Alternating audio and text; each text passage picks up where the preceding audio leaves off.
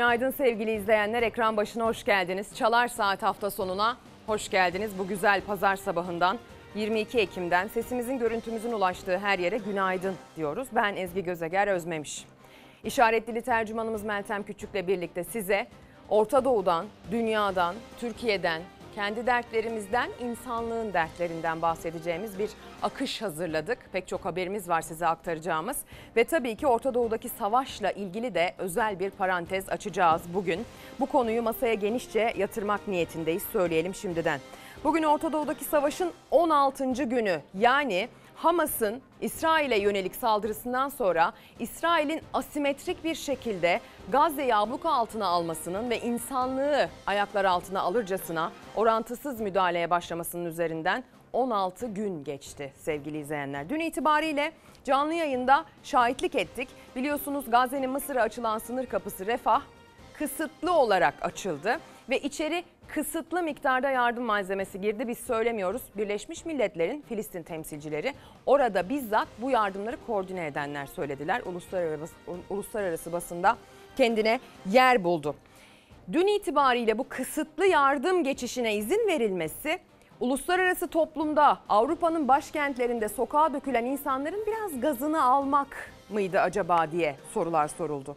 Ve dolayısıyla bugün itibariyle aslında her sabah olduğu gibi yine bir kara harekatı ihtimaline uyandık. Ama sanki düne göre bu ihtimal bugün biraz daha kuvvetli. Çünkü dün kendilerince bu uluslararası toplumun istediğini yerine getirmiş oldular. Dünya devleri duruyor İsrail'in arkasında ama bu dünya devleri de eğer kendi ülkelerindeki siyasi pozisyonları riske girerse bu kadar güçlü duramazlar. O yüzden çok önemli. Söylemiştim tekrar söylemekte bir sakınca görmüyorum. Coğrafya kaderdir denir ya. Diyelim ki bunun doğru olduğunu kabul ettik. O zaman kaderden yana yüzü gülenlerin bu özellikle gelişmiş ülkelerde yaşayanların ortalığı ayağa kaldırması lazım sevgili izleyenler.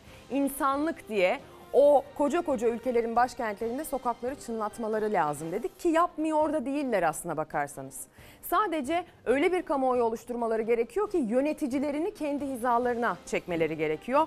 Dünyanın pek çok başkentinde dün itibariyle çok geniş katılımlı protesto gösterileri de yapıldı. Ve zaten eş zamanlı olarak gördük ki Mısır'daki toplantıda biraz yumuşama var. İsrail'in arkasında kayıtsız şartsız duran dünya devlerinde biraz yumuşama gözlüyoruz. Bugün itibariyle bu konuyla ilgili konusuna çok hakim eski asker, yeni akademisyen, çok önemli bir isim bizlerle birlikte olacak. Doktor Naim Babiroğlu bize savaşın anatomisini anlatacak aslına bakarsanız. Sadece bu savaşın değil, tüm savaşların anatomisine hakim kendisi ve bolca soru soracağız ona. ona. Örneğin Cumhurbaşkanı Erdoğan'ın dün akşam saatleri itibariyle yaptığı telefon görüşmelerini bu süreçte gerek Dışişleri Bakanımızın gerek Cumhurbaşkanı'nın bu telefon diplomasisini hiç bırakmadan sürdürmesinin aslında bir rol üstlenme iddiasını sürdürmek olup olmadığını soracağız. Ya da Türkiye yöneticileriyle Orta Doğu'daki bu savaşta bir rol üstlenmek niyetindeyse bunun bir faturası olur mu? Buradaki atılan adımlar bugüne kadar nasıldı? Bundan sonra nasıl olmalı? Bunları da değerlendirip soracağımız bir yayın olacak. Hemen isterseniz Gazze'deki son durumu da aktaran e, haberimize geçelim. Maalesef her gün verdiğimiz bilgilerde yaşamını kaybedenlerin sayısının arttığını görüyoruz. 5000'e yaklaştığı söyleniyor. 4300'ün üzerinde insanın öldüğüne dair bilgi resmi bilgi. Ama teyide muhtaç bilgi 4700'ü geçtiği yönünde ve aynı zamanda 1700'ün üzerinde de çocuk var bu sayının içerisine dahil. Sayı diyoruz ama aslında hepsi birer hayat.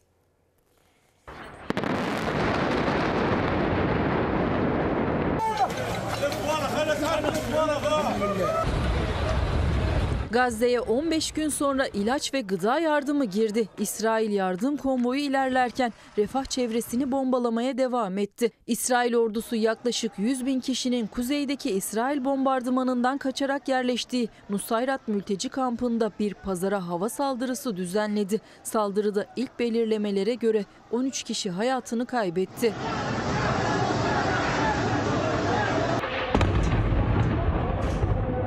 Kana susayan Netanyahu yönetimi Gazze'de başlattığı katliamı sürdürdü. İsrail uçakları hem gece hem gündüz Gazze şeridinde onlarca noktayı bombaladı. Sivillere ölüm yağdırdı.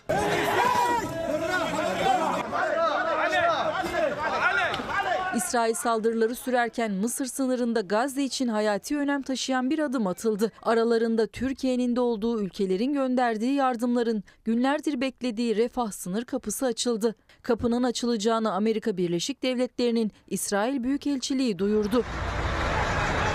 İlaç, tıbbi ürün ve gıda taşıyan 20 tır Gazze şeridine geçti. İsrail yardım konvoyunun Gazze Vadisi'nin güneyinde kalacağını söyledi. Yakıt geçişine kesinlikle izin verilmedi. Birleşmiş Milletler ise hastaneler başta olmak üzere binaların enerjisi için gerekli yakıtın bölgeye ulaştırılmasını istedi. Yardım konvoyu Refah'a ilerlerken İsrail bölgeye saldırdı. Uçaklar Refah çevresini bombaladı. Hamas'ın elinde kaç rehine olduğuysa tam olarak bilinmiyor. Hamas 200-250 rehineleri bulunduğunu söylerken İsrail bu rakamı en son 210 olarak güncelledi. Dünyanın gözü İsrail'in yapmayı planladığı kara harekatına çevrildi. Amerika Birleşik Devletleri ve Avrupa'nın rehine pazarlıklarına darbe vuracağı gerekçesiyle harekatın ertelenmesini istediği öne sürüldü. Netanyahu yönetimi ise harekatta ısrarlı. İsrail güçleri Gazze'nin kuzeyine havadan broşürler attı. Gazze Vadisi'nin güneyine gitmeyenlerin terörist olarak değerlendirileceği tehdidinde bulundu. İsrail-Lübnan sınırında da çatışmalar şiddetlendi. İsrail ordusu Lübnan'ın güneyine topçu ateşi açtı. Savaş uçakları da sınırda saldırı düzenleyen Hizbullah güçlerini vurdu. Hizbullah'tan anında karşılık geldi. İsrail tanklarına ve sınırdaki İsrail askerlerine güdümlü füze saldırısı düzenlendi. Avrupa'da İsrail karşıtı gösterilerse sürüyor. İngiltere'nin başkenti Londra'da yaklaşık 100 bin kişi Filistin'e destek için yürüdü. Kalabalık Filistin'de İsrail katliamına son verilmesini istedi. İnsani ateşkes çağrısı yaparak sık sık özgür Filistin sloganları attı. Sevgili izleyenler geniş katılımlı pek çok eylem gerçekleştirildi. Özellikle tabii ki İsrail'in arkasında en güçlü duran ve en güçlü olduğunu bildiğimiz ülkelerde gerçekleştirilen eylemler oldukça önemliydi. Ee, onlardan bir tanesi Londra'da bir tanesi Washington'da gerçekleştirildi. Hani dünya neden ses çıkarmıyor, dünya neden ses çıkarmıyor diyoruz ya aslına bakarsanız bu dünyanın sessizliği daha çok yönetenler nezdinde, daha çok Birleşmiş Milletler nezdinde, daha çok NATO nezdinde gerçekleşiyor gibi görülüyor. Uluslararası hukuk, savaşa dair her türlü etik kural ayaklar altına alınmış durumda.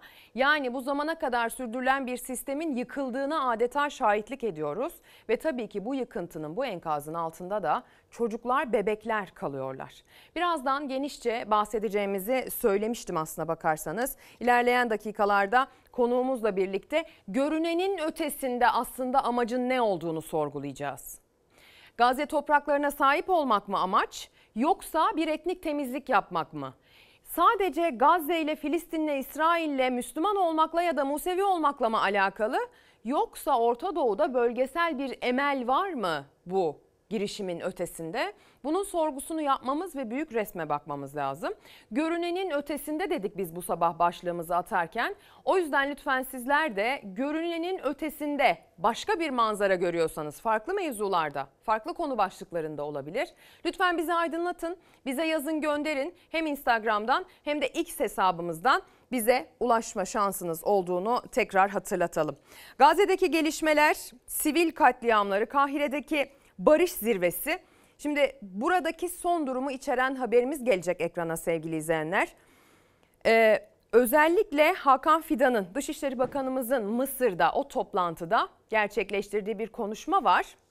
Toplantıdan ne sonuç çıktığını sonra size gazeteden de okuyacağım. Ama şöyle bir cümle önemli. Barış sağlanmazsa savaş kalıcı olur. Furthermore, there should be a guarantee mechanism Yeni bir garanti mekanizması tasarlanıp hayata geçirilmelidir. tarafların adil bir barış için attığı adımların garanti edilmesi gerekmektedir. İsrail'in Gazze'ye artarak devam eden bombardımanı, havada kalan arabuluculuk ve ateşkes çağrıları. 21 ülke Mısır'ın başkenti Kahire'de barış için Gazze zirvesinde bir araya geldi. Türkiye adına Dışişleri Bakanı Hakan Fidan katıldı zirveye. Taraflar için garantörlük mekanizması kurulsun dedi. Cumhurbaşkanı Erdoğan Arapça paylaştığı mesajda bir kez daha İsrail'e çağrı yaptı. İsrail yetkililerine Gazze'de sivilleri hedef almayı bırakmaları ve soykırım noktasına ulaşan askeri operasyonların derhal durdurulması çağrımı yineliyorum. İçinde sivillerin yaşadığı binaları bombalarla yerle yeksan ederek her türlü utanç verici yöntemle yürütülen bir çatışma savaş değil katliamdır. İsrail'in Gazze'deki sivil katliamları sonrası Türkiye'de de protesto eylemleri kesilmiyor. Doğudan batıya, kuzeyden güneye Filistin'e destek, İsrail'e tepki var.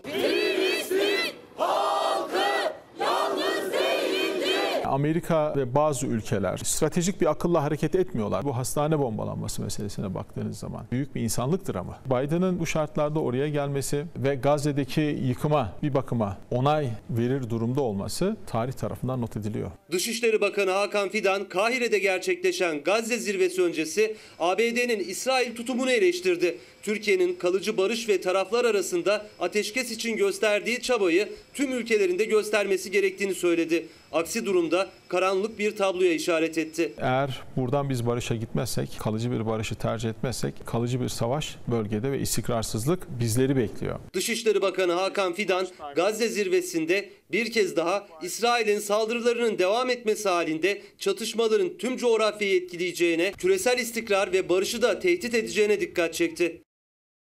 Barışı tabii ki tehdit ediyor eğer kararlar barışa yönelik alınmazsa ki şimdilik öyle görünmüyor. Dün itibariyle Biden bir basın toplantısında İsrail'in Gazze'ye kara saldırısını daha fazla rehine bırakılması için ertelemesi sizce doğru mu diye soruldu. Ertelemeli mi diye soruldu. Evet ertelemeli dedi Biden. Sonrasında Beyaz Saray yazılı bir açıklama yaptı. Biden'ın soruyu duymadığını, dolayısıyla bu konuda aslında bir yorumu olmadığını söyledi. Ne olacak bu erkek ve yaşlı yöneticilerden çektiklerimiz? E, dolayısıyla kara harekatı ile ilgili bir beklenti içerisinde bölgedeki herkes ve bölgeyi takip eden herkes sevgili izleyenler. Dün itibariyle Mısır'daki o barış zirvesinden bir sonuç alındı mı diye soracaksınız. Hadi gelin Pencere gazetesinin ilk sayfasından okuyalım. Alınmış mı alınmamış mı bize oradaki bilgi söylesin. Mısır'daki zirve sonuçsuz, laf çok, icraat yok. Mısır'da bölge ülkelerinin temsilcileri AB ve ABD'nin katılımıyla barış zirvesi düzenledi. Başından beri koşulsuz olarak İsrail'i destekleyen Batı tavrını biraz yumuşattı ve konuşmalarda uluslararası hukuk vurgusu yaptı. Bölge ülkeleri ise İsrail'e hedef aldı. Gazze'nin aralıksız bombalanması, sivillerin öldürülmesi, yardımların engellenmesi, insanların ekmeksiz, susuz, elektriksiz bırakılması eleştirildi.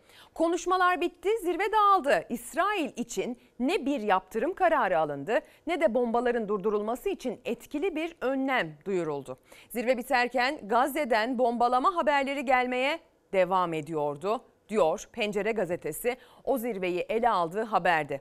Bakın dün itibariyle bu zirveye yansıyan uluslararası temsilcilerin özellikle İsrail'e desteğiyle bildiğimiz siyasilerin, ülke temsilcilerinin nispeten artık insan haklarından, hukuktan, e, oradaki insanların ne kadar büyük bir e, katliama maruz kaldığından bahsetmeye başladığını gördük.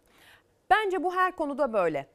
Demokratik haklarımızı kullanırsak her ülkede, ülkenin e, vatandaşları olarak, hak sahipleri olarak biz hangi kamuoyunu oluşturursak bizi yönetenler de o kamuoyuna odaklanmak zorunda kalır. Ama tabii ki hakkımızı kullanırken haklı kalmaya gayret edeceğiz. Haksız duruma düşmeyeceğiz. Demokratik anlamda bu hakkımızı, kamuoyu oluşturma hakkımızı kullanırken kimseye zarar vermeyeceğiz. Aslında şu anda biraz bu oluyor. Ee, gelişmiş toplumların sokaklarında özellikle dün cumartesi olması dolayısıyla da biliyorsunuz pek çok e, gösteri yürüyüşü, Filistin'e destek, İsrail'e tepki sesleri yükseldi. Şimdi biraz artık isterseniz kendi içimize dönmeye başlayalım. Tabii ki ülkemizden de haberler aktaracağız ama bu konuya peyderpey geri dönmeyi planlıyoruz. Ee, şimdi size e, pek çok kazayı bir arada göstereceğim bir haber vereceğim sırada. Şimdi maalesef ikisi polis 4 kişinin yaralandığını baştan söyleyeyim. Sizi Burdur Bucağa götüreceğim. Sonra Uşak Gediz yoluna götüreceğim. Bir de Tarsus Adana Gaziantep otoyoluna götüreceğim sevgili izleyenler. Ee, yaşamlarını kaybedenler var, yaralananlar var. Başsağlığı dileyelim, geçmiş olsun dileklerimizi gönderelim.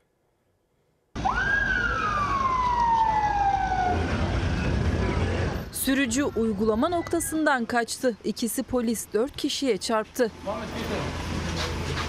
Burdur Bucak'ta bekçilerin şüphelenip durdurmak istediği Yunus Emre K kaçtı. Bekçiler plakayı emniyete bildirdi. Türkerler Caddesi'nde trafik uygulaması yapan ekipler şüpheli araca dur ihtarında bulundu. Ancak sürücü ihtara uymadı, gaza bastı. Kaçarken ikisi polis 4 kişiye çarptı. Aracın çarptığı polis ve vatandaşlar yaralandı. Uygulama noktasındaki diğer polislerin ihbarı üzerine olay yerine çok sayıda sağlık ve takviye polis ekibi sevk edildi. Yaralılar Bucak Devlet Hastanesi'ne kaldırıldı. Durumu ağır olan polis memuru Ali Osman ise Isparta Süleyman Demirel Üniversitesi Tıp Fakültesi Hastanesi'ne sevk edildi. 4 kişiye çarparak kaçan Yunus Emre Kaysa yapılan çalışmalar sonucunda Karaseki mevkiinde jandarma ekipleri tarafından yakalandı, gözaltına alındı. Uşak Gediz yolu Derbent köyü yakınlarında da Uşak Tekstil Organize Sanayi Bölgesi'nden fabrikada mesaileri bitmiş işçileri Kütahya'nın Gediz ilçesine götüren midibüste bir başka minibüs sollama sırasında çarpıştı. Çarpışmanın etkisiyle midibüs yola savruldu. Minibüs de şarampole devrildi. Kazada 28 kişi yaralandı. Tarsus Adana Gaziantep otoyolundaysa freni boşalan tanker, minibüs asfaltlama aracı ve kepçeye çarptı. Asfaltlama aracıyla minibüs alev aldı. 3 kişinin yaşamını yitirdiği kazada 11 kişi yaralandı.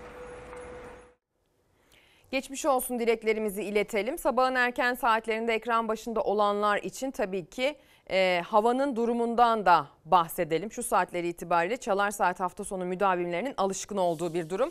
O bilgiyi de eksik etmeyelim ama havadan bahsederken e, evet yağmurdan çok bahsedemediğimiz pastırma yazından bahsettiğimiz günlerden geçiyoruz. Ama bu bize aynı zamanda susuzluktan da bahsetmeyi gerektiriyor. Hele bir de geçtiğimiz aylara bakıldığında ortaya koyulan rakamlar e, aslında iklimin alarm vermeye devam ettiğini söylüyor sevgili izleyenler. Bugünün haritası ne söylüyor? Bugünün haritası Marmara'nın doğusunda, Ege bölgesinin kuzey illerinde, Karadeniz'in iç kesimlerinde bugün itibariyle havanın yer yer sisli olduğunu söylüyor. Sis sabah saatlerinde daha çok etkisini gösterecektir. Eğer böyle bir göl kenarı, nehir kenarı, işte köprü, viyadük gibi bir yer varsa orada bu sis daha yoğun görülecektir. Ormanlık alanda bu sis daha yoğun görülecektir. Görüş mesafesini daha çok düşürecektir. Bunun da bilgisini vermiş olalım. Bunun haricinde bugün yurt genelinde hava açık, sıcak. Ee, pastırma yazının etkisi son sürat devam ediyor ama Gece saatlerinde iç ve doğu kesimlerde hava sıcaklığı 10 derece, 15 derece, 20 derece birden düşüyor. Düşünün ki doğuda yaşıyorsunuz. Gündüz 25-26 dereceyi gördünüz. Gece saatlerinde 3-4 dereceyi görüyorsunuz. Ya da mesela biraz daha iç kesimlere doğru gelin. O zaman aradaki fark biraz daha yumuşuyor ama onda da şöyle oluyor. Diyelim ki başkent Ankara'da yaşıyorsunuz ya da İç Anadolu bölgesinde bir ilde yaş- bir e, ilde yaşıyorsunuz. Gündüz saatlerinde 26-27 dereceleri görüyorsunuz. Gece saatlerinde 12-13 dereceleri görüyorsunuz. Dolayısıyla bu gece gündüz sıcaklık farklarına eğer uyum sağlama gayreti içinde olmazsanız hastalık kapınızı çalabilir. Şimdi susuzluktan bahsedeceğim, sıcaktan bahsedeceğim size ama bu hafta nasıl olacak? Yağış gelecek mi diye sorduğunuzu duyar gibiyim. Yarın itibariyle yurdun doğu kesimlerinde hafif bir yağışla hava etkisini göstermeye başlayacak. Geç saatlerde kuvvetlenebilir. Pazartesi günü itibariyle yurdun doğusunda, doğudan kastım Doğu Karadeniz'in de doğusunu içine alacak şekilde sevgili izleyenler. Bakın bir yağışlı hava söz konusu. Bu yağışlı havanın etkisi pazartesi gününden salı gününe de sarkacak. Dolayısıyla yurdun doğusunda geçici bir yağışlı havanın etkisinden söz ediyoruz. Sonra görünen bugünden bakıldığında ki biliyorsunuz ne kadar uzak tarihe bakarsak o kadar ihtimali düşer bu tahminin. E, hafta ortasında batıda yeni bir yağışlı hava. O da 1-2 günlük. O da en batıda bölgesel. Biraz Marmara, biraz Ege. Yani şöyle birkaç gün orada birkaç gün burada yağışlar dışında aslında bakarsanız susuzluğumuza kuraklığımıza derman olacak bir yağış şimdiden bakıldığında görülmüyor bu hafta için. Peki bu sus, susuzluk hangi boyuta geldi? Daha rakamsal olarak daha böyle yaşamsal olarak görelim mi? Buyurunuz haberimizde.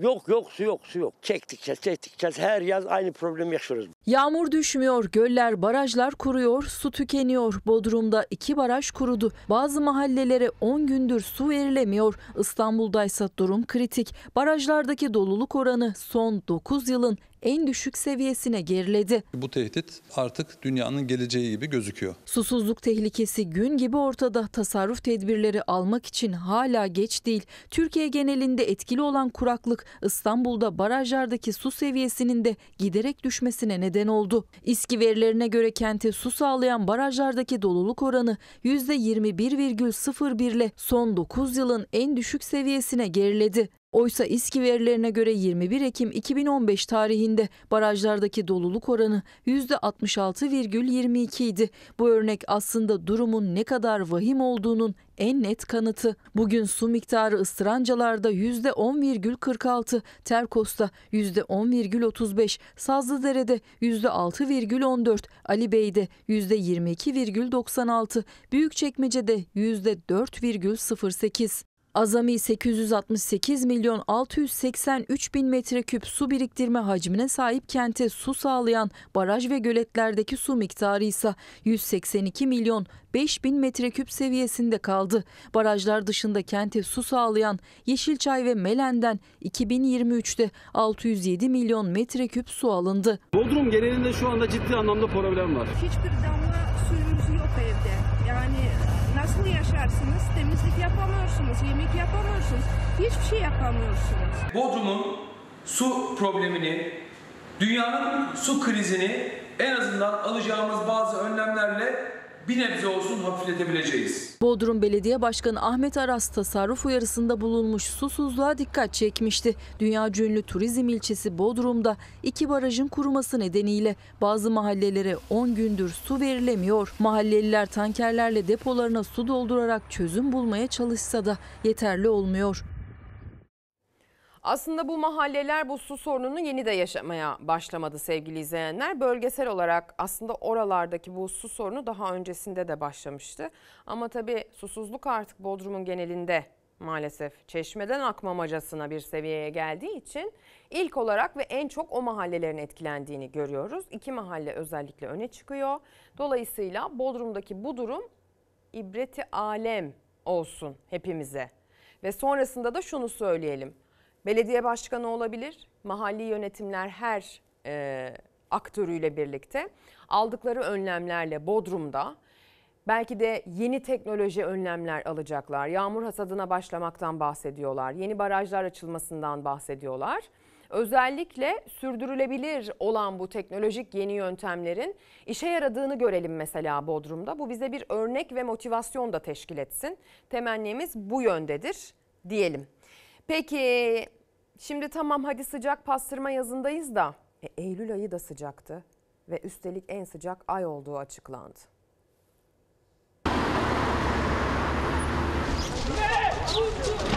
Son 53 yılın en sıcak 7. yaz mevsimini geçirdi Türkiye bu yıl. Sıcaklık rekoru kırıldı. Geçtiğimiz aysa en sıcak 6. Eylül olarak kayıtlara geçti. Ortalama sıcaklık 2,2 derece arttı. Türkiye'de meteorolojik veriler 1970 yılından beri düzenli olarak tutuluyor. Bu kayıtlar doğrultusunda Meteoroloji Genel Müdürlüğü'nün mevsimlik sıcaklık analizi verilerine göre 2023 yılı yaz mevsiminde ortalama sıcaklıklar Edirne, Gökçeada, Kuşadası, Demre, Kızılcahamam çevrelerinde mevsim normallerinin üzerinde gerçekleşti. Yurdun diğer noktalarında mevsim normallerinde seyretti. Haziran ayında en düşük sıcaklık Isparta'nın Senirkent ilçesinde 0 derece, en yüksek sıcaklıksa Ağustos ayında 48,6 dereceyle Şırnak'ın Cizre ilçesinde kaydedildi. 1991-2020 yaz mevsimi ortalama sıcaklığı 24 dereceyken 2023 yılında 24,7 dereceyle mevsim normallerinin üzerinde gerçekleşti.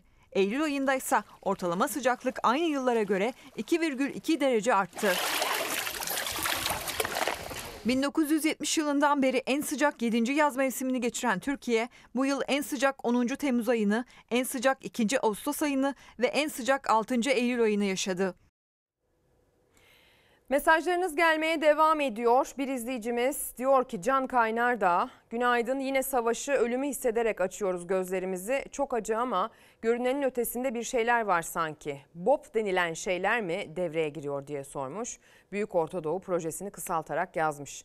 Fatoş Göral da günaydın diyor. Filistin topraklarını sata sata azınlık kaldı. Bu bize örnek olmadı, olmalı. Tehlike çanlarını duymamız gerekiyor artık diyor. Aslına bakarsanız e, toprak satılmasıyla ilgili durumu durumun zamanın koşullarına göre de değerlendirmek gerekiyor.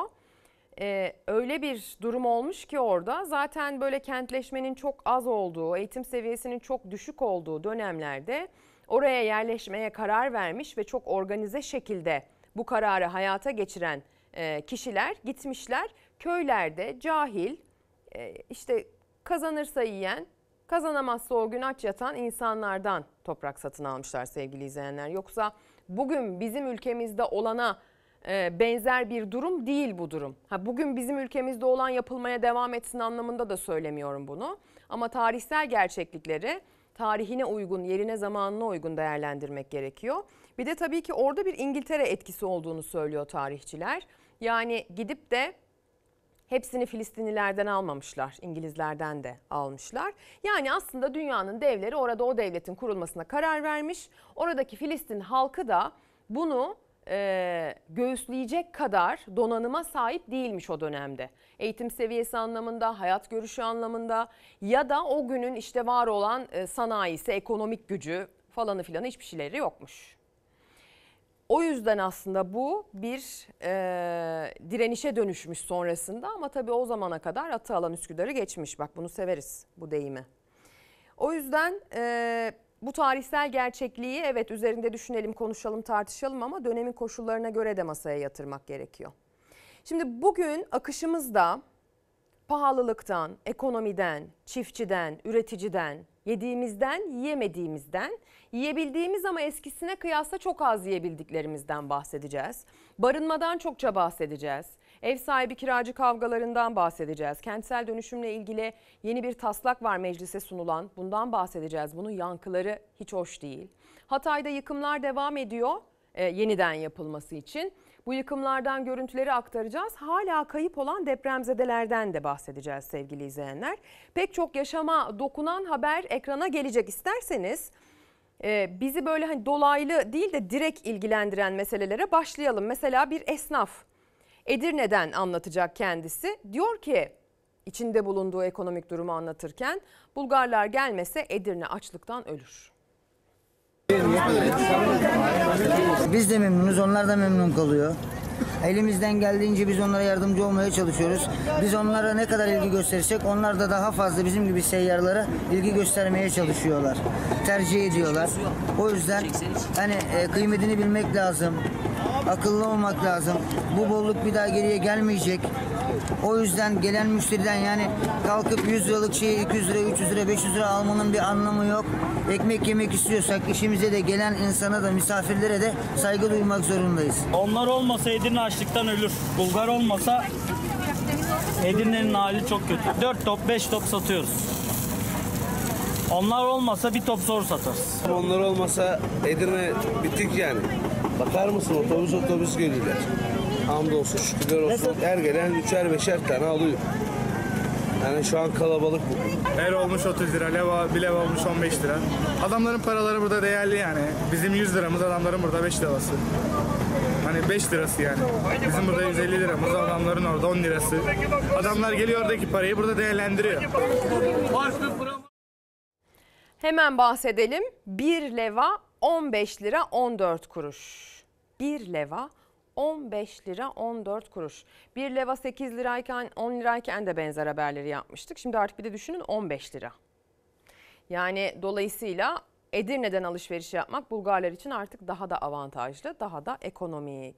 Ekonomimizden bahsederken dün de çokça e, bahsettik. Dün hatta Cuma'yı cumartesiye bağlayan gece itibariyle benzin zammı pompaya yansıdı. Geçtiğimiz hafta içerisinde 2 liranın üzerinde bir motorin zammı yine pompaya yansımıştı.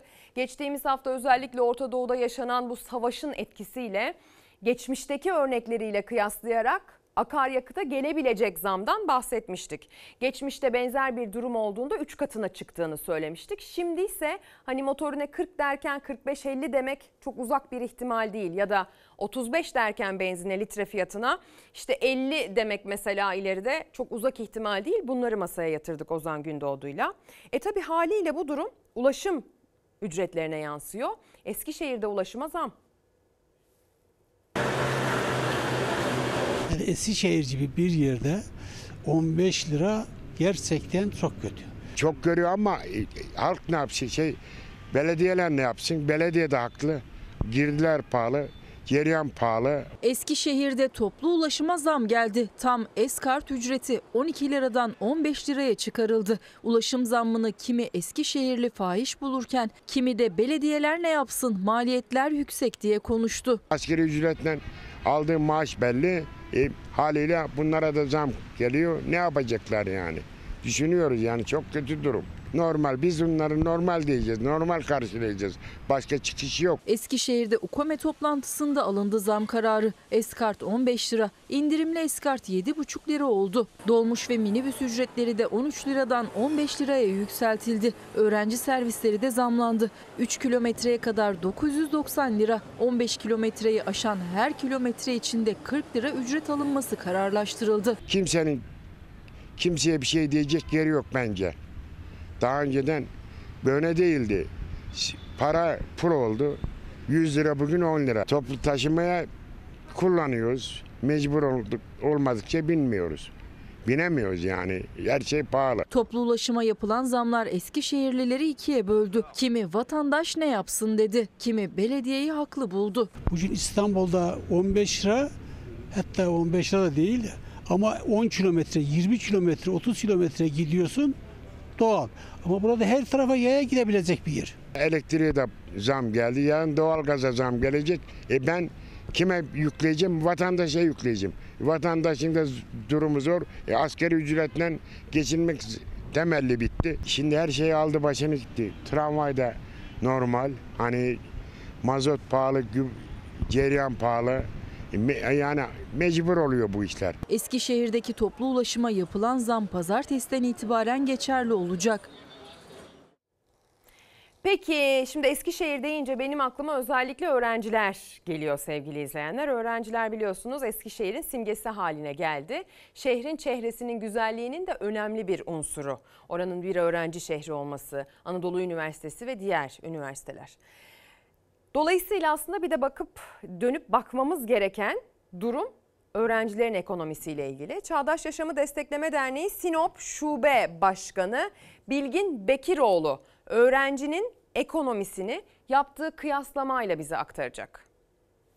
Öğrencilerin bu sayılarındaki artışın olmaması mümkün değil. Çünkü ülkemiz bir deprem geçirdi. Bu bir. İkincisi ekonomik nedenler. Çünkü e, alım güçleri ailelerin oldukça zorlaştı. Yine aynı nedenlerle iş bulma ailelerden söz ediyorum. İş bulmaları da çok zorlaştı. Evleri olmayanlar var. Örnek vermem gerekirse 100 ise eğer bu sene 300 diyelim 3 katı arttı. Önceden 2 yıllıklar bize bu kadar başvurmuyorlardı. Çünkü 2 yılda nasıl olursa olsun götürebiliyorlardı. Biz bu ekonomik nedenlerden ötürü bursu %100'den daha fazla artırdığımızı söyleyebiliriz.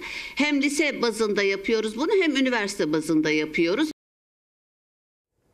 Madem öğrencilerden bahsettik, bugün öğrencileri manşetine taşıyan gazetelerimiz var. Onların başlığını da, onların haberlerini de ekrana taşıyalım. Bir gün gazetesi tabii ki manşetten Gazze'deki durumu ele alıyor. Ee, ama ilk sayfada genişçe yer verdiği bir diğer haber bakın ne? Öğrenci yurduna AKP MHP engeli. İBB öğrenci yurdu açmak için AKP döneminde gerici derneklere verilen binaları geri almak istedi. AKP'li ve MHP'li üyeler engelledi. Öğrencilerin barınma sorunu çözülmezken İstanbul Büyükşehir Belediyesi AKP döneminde TÜGVA, Ensar Vakfı, Az- Aziz Mahmut Hüdayi Vakfı ve İlim Yayma Vakfı'na verilen binaları geri almak istedi. AKP ve MHP'li meclis üyeleri engel oldu. Belediyeye ait binaların AKP yandaşı derneklerden alınmasını içeren önergenin reddedilmesine CHP'li meclis üyesi Filiz Öztürk Çelik tepki gösterdi. Çelik hükümetin yapması gerekeni yapmaya çalışıyoruz diye konuştu diyor. Yani öğrencinin yediği yemek, barındığı yurt bu hale gelmişken öğrenciler özellikle kendi şehirlerinin ötesine gidip başka bir yerde barınmaya dair ödeme yapmaları gereken bir yerde hayalleri olmasına rağmen e, o bölümleri tercih edemiyorken e, yurt yapılması gerekiyor. İlla çocukların ocu ya da bucu mu olması lazım barınma konusunda sorun çekmemesi için? Ya da bizi yönetenlerin düşündüğü gibi mi düşünmesi lazım? Onların yaşadığı gibi bir yaşam tarzına mı sahip olması lazım? Hepsinin bütün nasıl düşünürse düşünsün. Neye inanırsa inansın, hayat görüşü ne olursa olsun. Bütün öğrencilerine eşit anlamda bir fırsat sağlanması gerekmiyor mu bu ülkede? Özellikle öğrencilerin barınması bu denli büyük bir problem haline gelmişken bu ülkenin geleceğiyle ilgili hesap yapması gereken, adım atması gereken insanlar bu sorunu yıllardır birikerek çoğalan, yığılan bu sorunu çözmesi gerekmiyor mu artık? Hala oculuk buculuk mu var diye sormak lazım sevgili izleyenler. Cumhuriyet Gazetesi'ne geçelim. Cumhuriyet Gazetesi de manşetten tarikata teslim diyor bugün. Ee, Yatılı okullar bir bir kapatılıyor. Çocukların geleceği kararıyor. Tarikata teslim. 304 okula kilit vuruldu. Laik ve bilimsel eğitim yok ediliyor. Yatılı okullar kapatılıyor. Çocuklar tarikat ve cemaatlerin kucağına itiliyor. Milli Eğitim Bakanlığı'nın yatılı bölge ortaokullarına ilişkin verilerine göre 2010'da 524 olan okul sayısı, 574 olan okul sayısı 12 yılda 270'e düştü. Öğrenci sayısı da 178 binden 30 bine geriledi. Eğitimdeki acı tabloyu görmezden gelen Milli Eğitim Bakanlığı ise tarikatların istediği değerler, değerler eğitiminde ısrar etti. ÇEDES'le okullarda imamları görevlendiren iktidar okul öncesi ve ilköğretimdeki öğrenciler için değerler eğitimi konusunda çalışmaların yapılmasını istedi. Çocuklar açıkta kalmasın diye yurt açıyoruz, yaranamıyoruz diyene bakın sevgili izleyenler karikatürdeki. Dernek kampında şiddet bir diğer başlık aynı başlık altında değerlendirilmiş manşet altında. Devlet korumasındaki çocukların Suffa Vakfı ile ilişkili derneğin kampında şiddete uğradığı ortaya çıktı. Tarikatlar ve cemaatlerle iç içe geçen yapılarla işbirliğindeki kamu görevlileri hesap verecek mi diye soruyor Zülal Kalkan Dere. Madem öğrencinin ekonomik durumundan bahsettik, bunları da aktarmış olalım. Bir de Evrensel Gazetesi'nin manşetine bakalım İrfan Tomakin. Ee, Evrensel Gazetesi'nin manşeti vergide adalet talep ediyor. İşçi vergide adalet istedi diyor. Diskin çağrısıyla İstanbul Kartal'da bir araya gelen işçi ve emekçiler iktidarın adaletsiz vergi düzenine karşı az kazanandan az, çok kazanandan çok vergi alınsın dedi. Siz soruyorum size sevgili izleyenler. Görünenin ötesinde başlığımız ya bugün. Şimdi zaten görünenin ötesinde dediğimiz zaman bu vergiler için de çok uyumlu bir başlıkmış meğer İrfan Tomakin. Çünkü biz görünenin ötesinde o kadar çok vergi ödüyoruz ki hani gözümüz görmüyor peşin peşin alınıyor ya satın almalarımızdan, gelir vergisinden ki zaten daha yakın zamanda hükümet yetkilileri açıkladı. En çok vergi gelirini KDV'den sağlıyorlarmış. E, gelir vergisi de yanlış bilmiyorsam e, ilk sıralarda. Ama tabii ki buna bir adalet gelmesi lazım.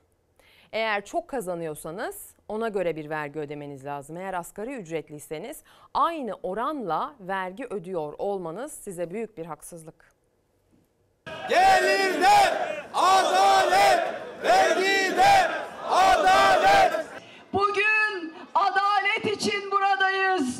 Bugün vergide adalet için bu meydandayız. Gelirler ortalama 20-25 bin lira civarında aylık. Yani aylık ortalama 11 bin lira civarı bir vergi ödüyoruz. Bırakın ay sonunu ayın ortasını bile getiremiyoruz. İşçiler, emekçiler vergi adaleti için meydana çıktı. Bir tarafta iğneden ipliğe artan fiyatlar, diğer yandan yükselen vergiler. Sırtındaki geçim yükünü taşıyamayan yüzlerce kişi hem gelir hem de vergi adaleti için ses yükseltti. Çok basit bir isteğimiz var.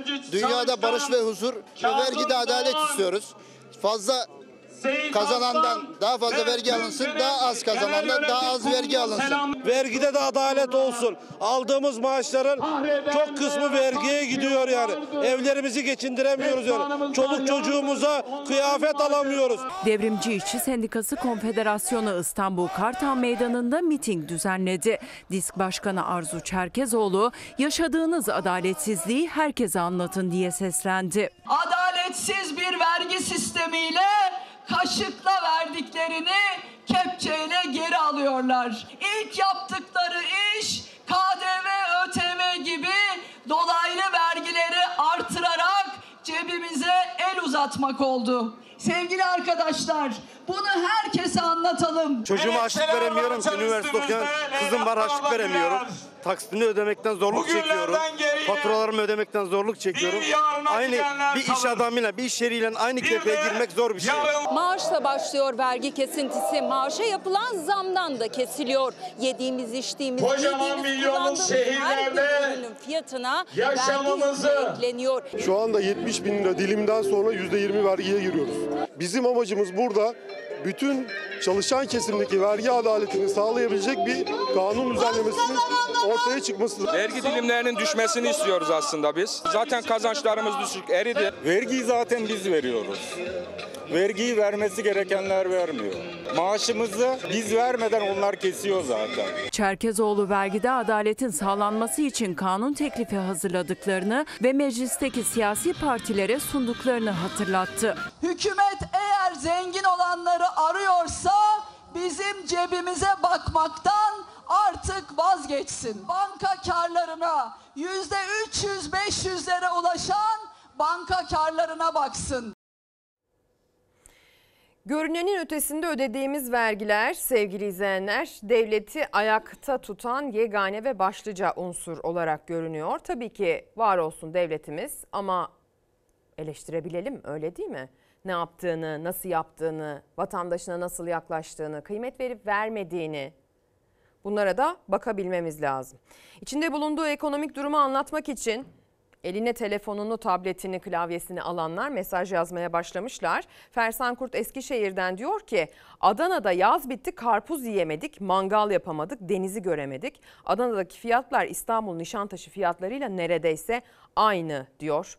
Ben de soruyorum Nişantaşı'na en son ne zaman geldiniz Fersan Bey? Demek ki bir de Nişantaşı'na gelseniz aman aman diyeyim size. Ama tabii ki bütün fiyatlar bölgesel olarak değişim gösteriyorsa bunun da bir sebebi var öyle değil mi? Haklısınız. Hayırlı yayınlar Balıkesir'den selamlar demişsiniz. Eskişehir'den Mustafa Ako'ya selamlarını göndermiş çok teşekkürler. Vergilerden vatandaş görünmüyor artık diye Murat Bey bir mesaj göndermiş. Görünen de belli ötesi de belli. 2002 yılında biz Bulgaristan'dan alışveriş yapıyorduk. Şimdi duruma bakın diyor Orhan Bey gönderdiği mesajda. Öğrencilerin durumuyla ilgili de Aysel Hanım demiş ki görünenin ötesinde Öğrenci olmak çok zor. Ülkemizde yurt sorunu zirvede. Merak ediyorum Amerika'da açılan yurt ne işe yarıyor diye sormuş. Devam edelim. Dün biliyorsunuz 21 Ekim Dünya Gazeteciler Günü'ydü. Hatta bazı izleyicilerimiz sağ olsunlar atlamadılar, kutladılar, mesajlar gönderdiler. Çok çok teşekkürler. Ama bugün maalesef bizim için aynı zamanda bir utanç tablosuna da sahne oldu. Katıldığı bir resepsiyonda yaptığı espri nedeniyle bir iş insanı tarafından saldırıya uğrayan gazetecinin hikayesi gelecek ekrana. Otoparka doğru yönelince iki kişi bana saldırdı. Birinin onun e, akrabası olduğunu biliyorum. Tekmelerle, yumruklarla, bıçak çektiler. Elini beline atlar. Silah mıydı değil miydi bilmiyorum. İddiaya göre önce telefonla tehdit hemen sonra tekme tokat darp edildi. Gazeteci Fuat Bulut çalışan gazeteciler gününde saldırıya uğradı. Yaşla ilgili bir konu açıldı ve birbirimize böyle yaşımızla ilgili espriler yaptık. Bu olaydan sonra diğer arkadaşlarımıza işte bana gamsız demiş nasıl böyle gamsız der herkesin içerisinde diye. Beni de telefonla aradı. Hem hakaret etti hem de şey dedi bu senin yanına kalmayacak. Kendi kendini mi vurdurtacaksın ya da beni mi sana vurdurtacaksın gibi bir cümle kullandı. Şahidim, vali yardımcısı şahidim. Yani alındığını bilsem gidip özür de dileyeceğim yani. Gazeteci Fuat Bulut Diyarbakır'da bir gazetenin birinci yıl dönümü programına katıldı. Aynı masada oturan iş adamı İşe ortamda yaş esprisinin açılmasıyla kendisine gamsız kelimesini söyledi söyleyen Bulut'a alındı. Daha sonra ortamdan ayrılan Bulut İŞE tarafından telefonla arandı. İddiaya göre İŞE Bulut'u tehdit edip hakarette bulundu. Akşam saatlerinde de Bulut otoparka doğru ilerlerken iddiaya göre İŞE'nin gönderdiği iki kişi tekme, tokat ve yumruklarla Bulut'a saldırdı. Bulut kulağından ve vücudunun çeşitli yerlerinden aldığı darbelerle yaralandı. Tabii ki şikayetçi olacağım yani. Geçmiş olsun diyelim. Şimdi e, kozmetik sektörüyle ilgili uyarı niteliğinde bir haber var sırada.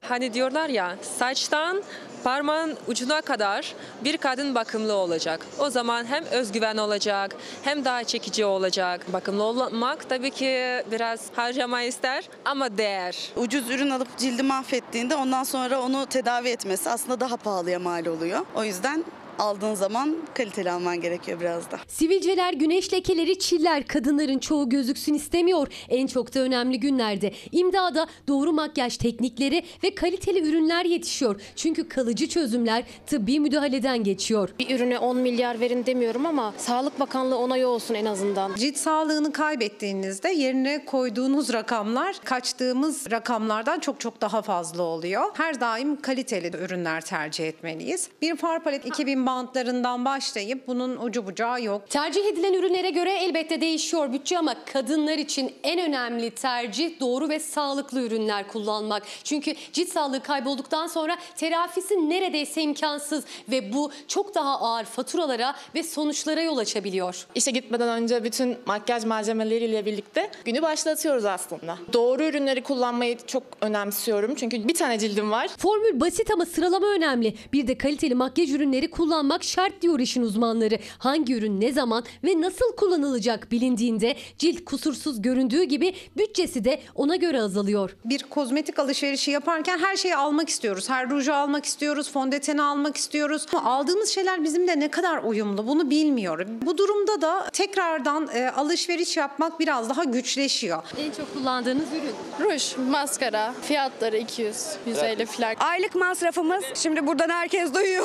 Sadece bakım ürünleri olarak bile 2500-3000 TL civarında masrafı var. Söz konusu güzelleşmek olunca alternatifler, seçenekler sınırsız ama tepeden tırnağa, baştan aşağı güzelleşmek isteyen kadınlar için maliyet yüksek bile olsa öncelikli tercih oluyor. 5 kalem kozmetik ürün alacak olsak bugün ne kadarlık bir bütçe ayırmalıyız? Gerçekten dünya markalarına yatırım yapılacaksa 10-15 bin civarında rakamları gözden çıkartmak gerekiyor. Kalıcı makyaj, protez tırnak, cilt bakımı, güzelleşmek cep yakıyor ama işin içine marka da girdi mi kadınlar güzellik için binlerce lira harcıyor. Sosyal medya, ana akım medya kadına güzel olma baskısını tamamen ekonomik gerekçelerle sürdürdüğü için hani evin içerisinde de çiftler arasında bakımlı olması gereken kim? Kadın. Erkek bakımlı olmasa da olur. Bu baskıyı da aslında göz önünde bulunarak, bulundurarak bu konuyu değerlendirmek lazım. Neden böyle olduğunu da sorguluyor olmak lazım. Sonrasında kazandığı 3 kuruşun 2,5 kuruşunu buraya yatırıyor diye o kadını eleştirirken o ihtiyacın nereden geldiğine de bakmak lazım sevgili izleyenler. Bu eleştiriyi yaparken aynı zamanda siz o kadının güzel olması gerektiğini, bakımlı olması gerektiğini, pırıl pırıl parlaması gerektiğini bekleyenlerseniz aynı zamanda o zaman orada bir duracaksınız. Kusura bakmayınız. Eğer yeterince bakımlı bulmuyorsanız yüzüne dahi bakmıyorsunuz, saygı duymuyorsunuz, fikrini duyup dinlemiyorsunuz dahi. Ama bakımlı olduğu zaman da böyle maliyetlerle karşılaşıyor. O zaman da diyorsunuz ki zaten kazanıyorsun 5 kuruş, verdin oraya 3 kuruşuna tüh yazıklar olsun. İşte öyle değil o işler. O işler öyle değil. Şimdi bot şova götüreceğim size. İstanbul'da lüks tekneler görücüye çıktı. Benim baktığım 80 bin euro civarındaydı. 500 bin euroya da var, 40 bin euroya da var bütçeye göre. Türkler mi geliyor, yabancılar mı geliyor? Şu ana kadar yabancı önde. İkinci Türksünüz. Nedir bunun ederi? 15 milyon dolar. Biz kendi bütçemizden bakıyoruz değil mi olaya? O yüzden çok ya kendimiz için bakınca yüksek. 400 bin euro. Hayaller. Gerçekler? Gerçekler bana uymuyor. Hayaller gibi lüks yaşamanın da sınırı yok. Kimileri için erişilmez olan rakamlar, kimileri için uygun fiyatlı. İstanbul'da deniz tutkunlarının bir araya geldiği yat ve tekne fuarında fiyatlar 15 milyon dolara kadar çıkıyor. Bu bir lüks mü? Keyif mi? Lüks diyebiliriz. Bu tekneleri hangi kesim alabiliyor? Parası olan kesim alabilir. Neye göre seçiyoruz? Hayalimizdekini mi yoksa Bütçenize göre, paranıza göre çıkabildiğiniz yere kadar çıkıyorsunuz. Bizimkinin üstüne 2-3 milyon lira koymamız gerekiyor. pahalı diyoruz da aslında kime pahalı? Görünen o ki siz 2-3 milyon daha koyarak alabilecek durumda. Elinizdekini kaça satıyorsunuz? 4,5-5 milyon gibi. İç dizaynı İtalyan iç dizaynı. Dış ana gövde Hollanda'dan. İmalat Türkiye. Burası aslında bir yat ancak içeriğine baktığımızda devasa bir malikane görüyoruz. Hemen bu tarafta büyük bir yemek yeme alanı var. Onun devamında oturma odası var ve orası da gayet geniş. Onun da devamında bir artı bir ev büyüklüğünde kocaman bir terası var. Üstelik burası sadece bu yatın bir katı. Burası da yatın en alt katı. Burada tam 5 yatak odası var. Bu da onlardan biri. En büyük yatak odası burada. Bu yatak odasının bir de soyunma odası var. Hemen yan tarafta banyosu, tuvaleti, ihtiyaç duyulabilecek içinde her şey var. Arzu eden içinde bir de kütüphanesi var. İşte 15 milyon doların en büyük keyif noktası burası. Yatın en üst katı 360 derece deniz manzarasıyla karşınızda. Böyle bir tekneyi almak istiyorsanız her şey dahil, vergiler dahil 85 bin, 90 bin euro gibi motor dahil fiyatı var. 5-6 sene öncesinde ona göre 7-8 kat şu an fazla. Alıcısı kadar meraklısı ama alacak bütçesi olmayanlar da daha açıldığı dakikalarda geldi fuara. Yüzen malikaneler değil ama onlar için de denizde süzülecek seçenekler yok değil. Deniz bisikletleri 6 bin dolara var. 3250 euroya var. Deniz skuterları da 10 bin eurodan başlayıp 18 bin eurolara kadar değişiyor. Tekne, tekne ekipmanları ve aksesuarların da satıldığı ihtişamlı fuar 29 Ekim'e kadar İstanbul Pendik'te ziyarete açık olacak. Deniz skuterine 10 bin euro dedi. Daha da bir şey demiyorum sevgili izleyenler. Şimdi bir reklam arasına gideceğiz. Reklam aramız yine dün olduğu gibi çok uzun değil. Çarçabuk geri döneceğiz öyle söyleyeyim. Sonrasında yine Gazze'deki son duruma bakmayı sürdüreceğiz. Haberlerimizi aktaracağız. Ve meseleyi genişçe masaya yatırmak için söz verdiğimiz gibi konuğumuzu stüdyomuza alacağız. Şimdi herkes bir çayını kahvesini tazelesin. Çok uzaklaşmasın ekrandan. Hemen geri geliyoruz çünkü. Tekrar günaydın. Söz verdiğimiz gibi arayı kısa tuttuk. Kaldığımız yerden devam ediyoruz sevgili izleyenler. Hem Filistin'den, Gazze'den, İsrail cephesinden ve uluslararası basından aktaracaklarımız var ve tabii ki ülkemizden de aktaracaklarımız var diyelim.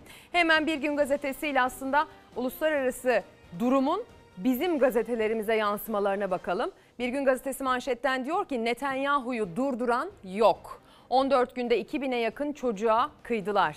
Barış zirvesinden de sonuç çıkmadı. İsrail ölüm yağdırmayı sürdürüyor. Gazze'de Gazze'ye yardım konvoyuna kısmen izin verildi. Acı her dakika katlanıyor. Kısmen izin verildi, kısa süreli izin verildi. İçeriye özellikle enerji sağlayabilecek imkanların girmesine izin verilmedi. Akaryakıt girmesine, jeneratörlerin çalışması için lazım. Bunlara izin verilmedi sevgili izleyenler. Gıda girdi, sağlık malzemesi girdi ama Birleşmiş Milletler'in içerideki temsilcisi dedi ki buradaki ihtiyaca baktığınızda gelen yardım okyanusta sadece bir damla kadar dedi. Bunun yanı sıra bakıyorsunuz e, o bölgedeki insanlar evlerini terk etmeye zorlanmaya devam ediyorlar. Aslına bakarsanız uluslararası toplumun baskısıyla dün kısmen de olsa o kapı açıldı.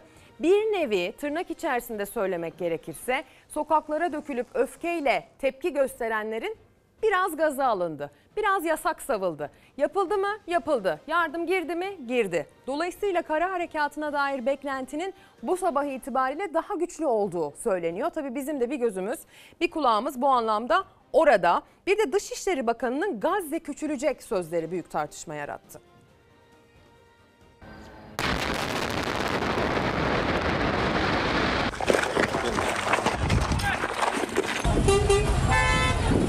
Dışişleri Bakanı Gazze küçülecek dedi. İsrail'in hain planı ortaya çıktı. Filistin lideri Abbas yanıt verdi. Ne olursa olsun topraklarımızda kalacağız dedi.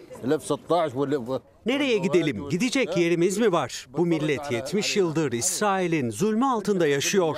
İsrail, Hamas saldırısının gerçekleştiği 7 Ekim'den bu yana Gazze'yi bombalıyor. 15 gündür süren bombardımanda can kaybı her geçen saat artıyor.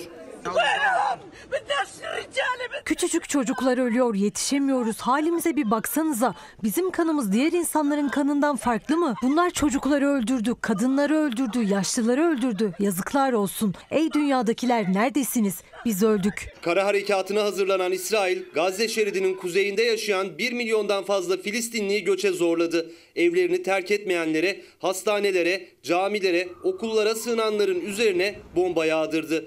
2000'e yakın çocuk, 4000'den fazla sivil katletti. Binlerce çocuğu öksüz ya da yetim bıraktı. مالك هيك زعلان؟ قصف الدار طب وايش يعني قصفت الدار؟ بنرجع نبنيها ابوك اسمه استشهد مش مات Gazze'de neredeyse sağlam bina kalmadı. 5500 bina tamamen yıkıldı. 135 bin konut hasar gördü. Yaklaşık 11 bin konut oturulamayacak hale geldi.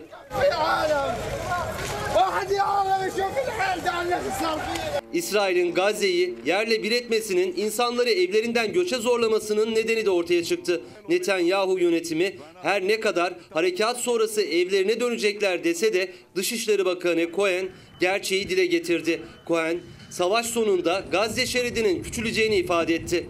Savaşın sonunda sadece Hamas yok olmayacak. Gazze'nin toprakları da azalacak. Bakanın sözleri sonrası İsrail'in bölgeyi ilhak edeceği iddiaları ortaya atıldı. Bir başka iddiaya göre ise hedef Gazze'nin kuzeyinde tampon bölge oluşturmak. Un tedarikinde zorlanıyoruz. Bugün için yetecek kadar unumuz var. Sonrası Allah kerim. Yarına ekmek yapacak unumuz yok. İsrail'in Gazze'de yaşayan sivilleri Sina çölüne yerleştirmek istediği de öne sürülüyor. Konu Cumhurbaşkanı Erdoğan'ın Mısır lideri Sisi ile yaptığı telefon görüşmesinde de gündeme geldi. Gazze'deki Filistinlilerin yurtlarından göç etmeye zorlanması kabul edilemez. Sisi de sivillerin Gazze'den Sina'ya göçünü son derece tehlikeli olarak niteledi. Bu Filistin davasını tamamen bitirebilir dedi. Ürdün Kralı Abdullah da Filistin halkının yerinden edilmesinin savaş suçu olduğuna dikkat çekti. Bu soruların hepsini soracağız. Eğer o insanlar orayı terk ederlerse ne olur? Geri dönebilirler mi? Bu anlamda çöllerdeki bu yerleşim yerlerine götürülmeleri ne anlam ifade ediyor? Bunların hepsini ilerleyen dakikalarda e, emekli Tuğgeneral Doktor Naim Babiroğlu'na soracağız sevgili izleyenler. Sözcü gazetesinin manşeti. Filistin'e el sürülemez. Atatürk'e mal edilen bu sözler yeniden gündem oldu. Yurtta sulh, cihanda sulh diyen Atatürk, emperyalist ülkelerin Orta Doğu'daki oldu bittilerine karşıydı. Devlet arşivindeki Filistin'le ilgili belgenin özeti şöyle. Hindistan'da The Bombay Chronicle gazetesinin 27 Temmuz 1937 tarihli sayısında Filistin'e el sürülemez Kemal Paşa Avrupa'ya ihtar ediyor başlıklı bir haber çıktı. Haberde Atatürk'ün buraların Avrupa emperyalizminin oyun sahası olmasına müsaade etmeyeceğiz dediği de belirtildi diyor. Atatürk Orta Doğu'yu çok iyi biliyordu. Ulu Önder Atatürk 7 Ağustos 1918'de Suriye Filistin'deki 7. Ordu Komutanlığı'na atandı. Bu fotoğrafta silah arkadaşlarıyla görülüyor demiş ve işte büyük olay yaratan o haber diye de o tarihli gazetenin fotoğrafını Sözcü gazetesi paylaşıyor. Ne demişti Mustafa Kemal Atatürk? Savaş eğer gerekli değilse bir cinayettir demişti. Şu an tam anlamıyla bu yaşanıyor. Döneceğiz bu konuya isterseniz hemen kendi meselelerimize bizi bizzat ilgilendirenlere yani daha doğrusu dolaylı yoldan değil de direkt ilgilendirenlere dönelim. Yine bir kiracı ev sahibi krizinden bahsedeceğiz. Kira 1500 liradan 6000 liraya çıkarılmak istendi. Kiracı kabul etmedi, arabulucu uzlaştıramadı. Tartışmada silahlar çekildi. Ev sahibi kiracısını vurdu.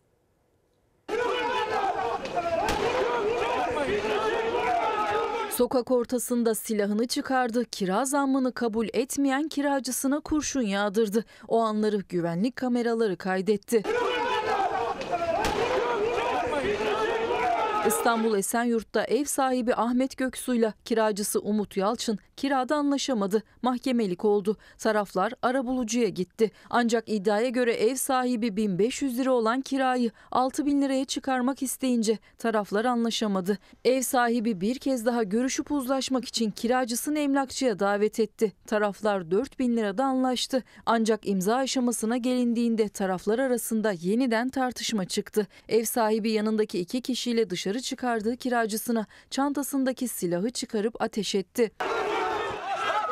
Silahtan çıkan kurşunlardan biri Yalçın'ın kasığına isabet etti. Taraflar arasında arbede yaşanırken Yalçın Göksu'nun elindeki silahın şarjörünü düşürmeyi başardı. Şarjörün düştüğünü fark etmeyen Göksu yaralandığı için yere düşen Yalçın'a yeniden ateş etmek istedi. Ancak silah ateş almadı. Olay yerinden kaçtı. Polisin peşine düştüğü ev sahibi Bağcılar'da kullandığı silahla birlikte yakalanarak gözaltına alındı. Tutuklanıp cezaevine gönderildi.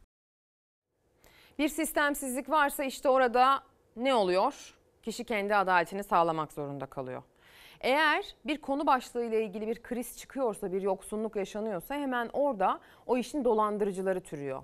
Gıdada da benzer bir durum söz konusu. O konuya da geleceğiz birazdan ama barınmada da böyle durumlar var. Barınmada kriz varsa bunun dolandırıcısı da hemen peşi sıra geliveriyor.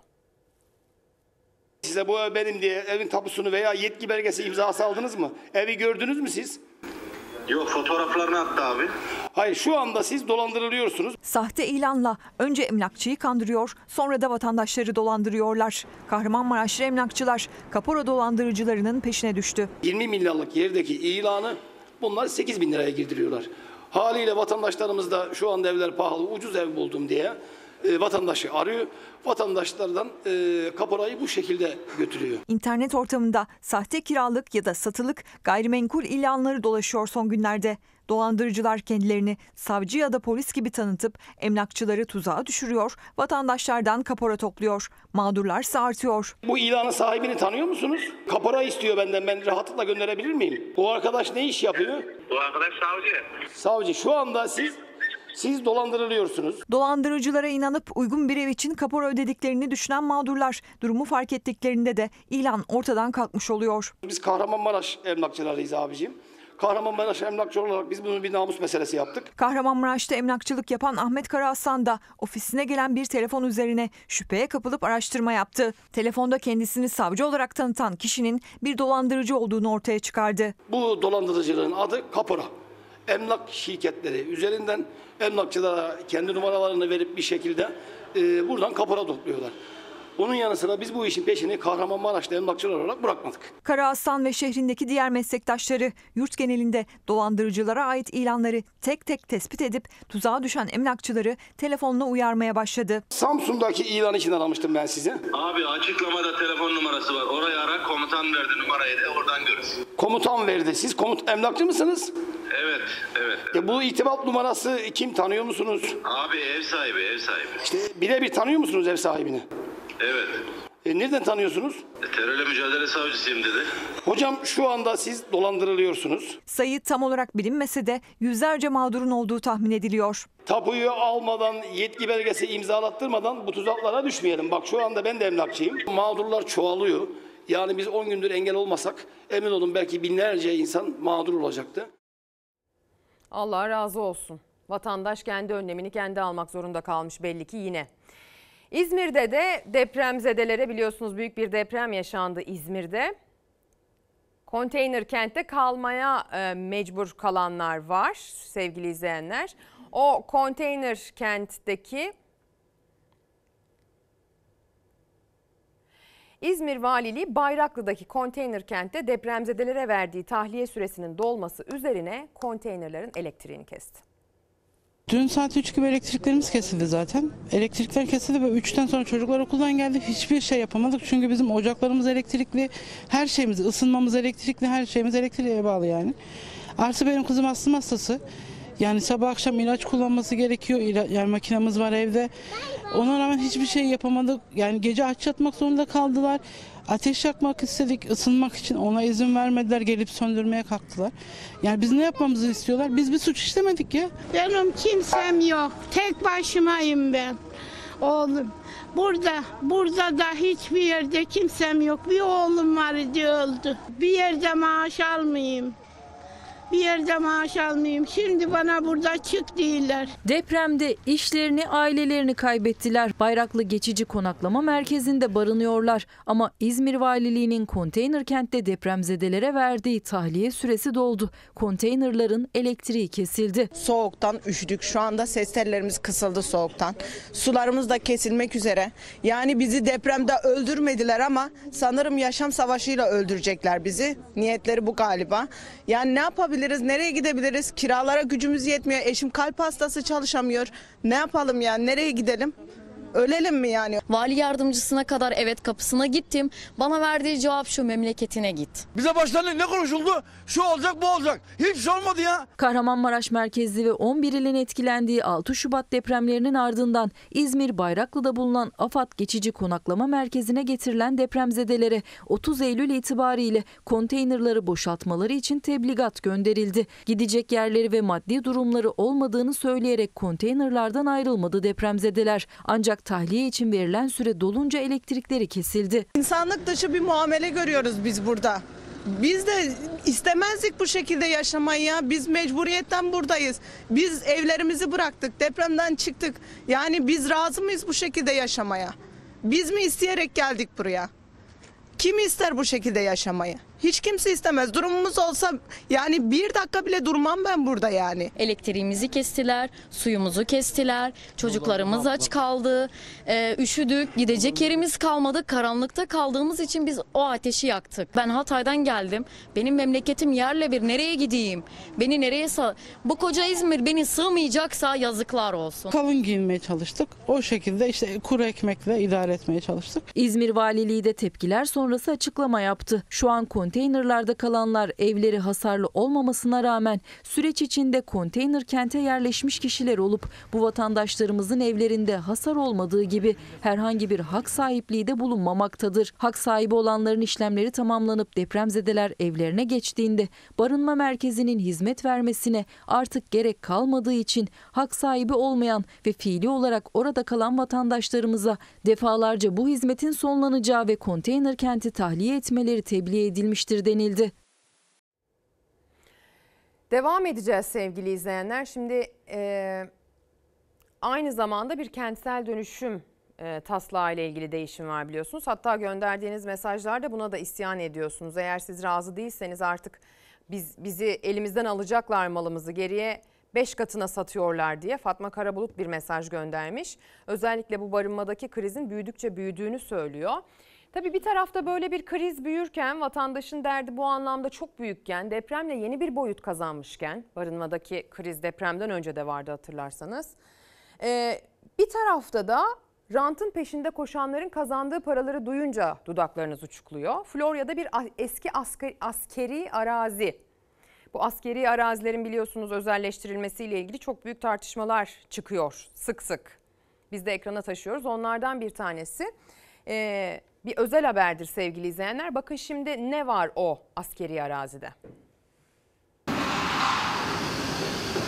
Buraların metrekare fiyatları ve konut dairelerin fiyatları çok pahalı olmasından dolayı ne yapıyorlar? Tekrar ranta açıyorlar. Ranta kurban gideceğini söylemiştik. O günün bakanı hayır demişti. Burası dedi yeşil alan kalacak, insanlar burada nefes alacak.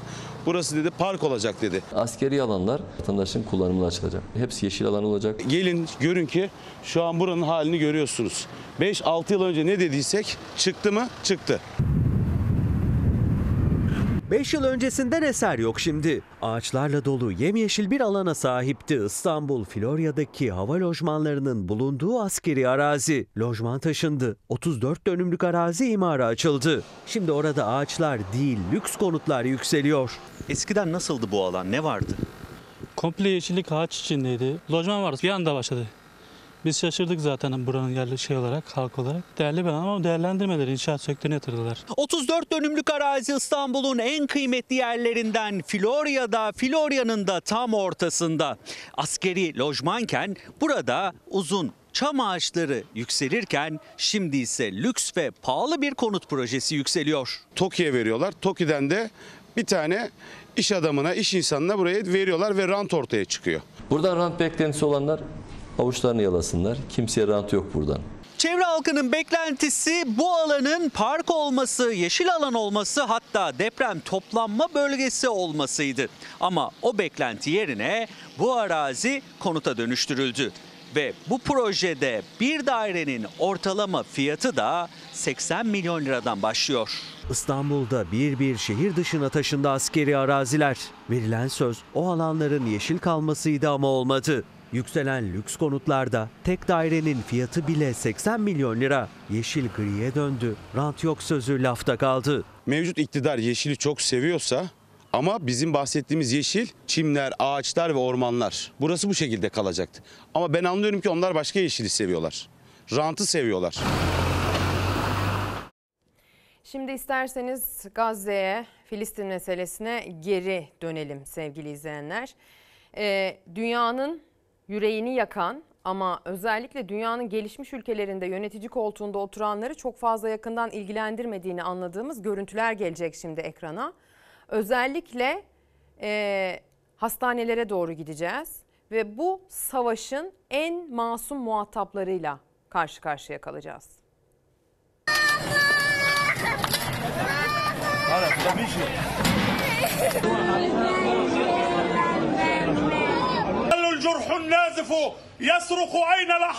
İsrail saldırılarında hayatını kaybeden bebeğin babası böyle feryat etti. Görmeyenlere, duymayanlaraydı isyanı. Çünkü bir daha hiç sarılamayacak bebeğine. Binlerce savunmasız bebek, çocuk aynı durumda. Savaşın tam ortasında hayata gözlerini açan yeni doğan bebekler için doktorlar yardım çağrısı yaptı. kuvvet çalıştırması, e, elektrik lazım hem de onun ısınması için elektrik lazım. Bu bebekler ısınmazsa soğukluktan ölecekler. Birkaç saat sonra bu çocuklar hepsi ölecekler ve e, morg gibi olacak bunlar.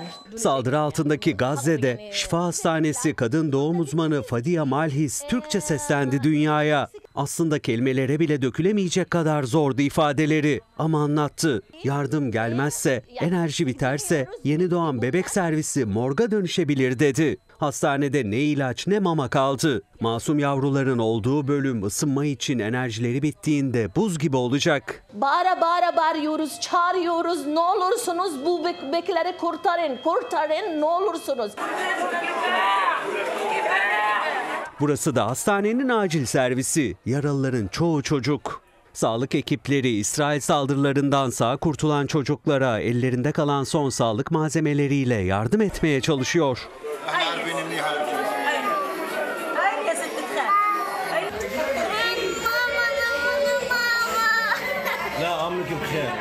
Gazze Sağlık Bakanlığı İsrail'in kan donduran saldırısı sonucu Elehli Hastanesi'nde 471 kişinin yaşamını yitirdiğini açıkladı. İsrail ordusu abluk altındaki Gazze şeridinin kuzeyinde yer alan 20 hastanenin boşaltılması için uyarı yaptı. Gazze'nin güneyinde yer alan ve yüzlerce sivilin sığındığı Kudüs Hastanesi'nin bombalanmaya hazırlık olarak derhal boşaltılmasını talep etti. O hastaneden seslenen Filistin Kızılayı sözcüsü ise yaralananları kurtarabilmek için tüm dünyaya acil eyleme geçme çağrısında bulundu.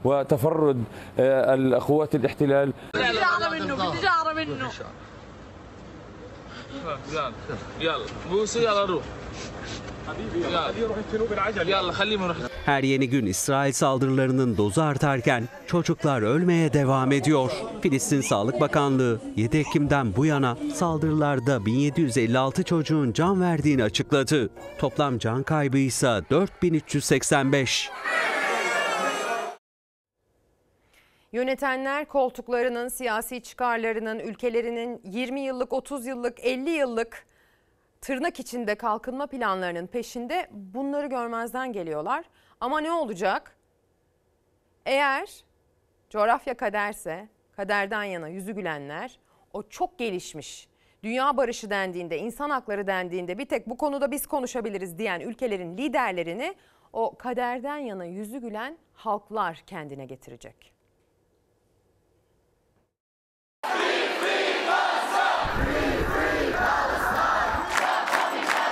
Aslında dünyada sessiz kalmıyor yaşanan vahşete, işlenen insanlık suçuna. Dünyanın dört bir yanından Gazze'ye destek sloganları yükseliyor. Amerika Birleşik Devletleri'nde, İngiltere'de, Almanya'da, İtalya'da devletler bazında güçlü bir tepki gelmese de halk Gazze'liler için sokaklarda. Protestolar gün geçtikçe artıyor. Masum sivilleri hedef alan İsrail saldırılarına tepki çığ gibi büyüyor. İngiltere'nin başkenti Londra'da on binlerce kişi başbakanlığa yürüdü. Filistin bayrağı taşıyan genç bir kadın fiziksel ve sözlü saldırıya uğradı. Almanya'nın çeşitli kentlerinde binlerce kişi katıldı gösterilere.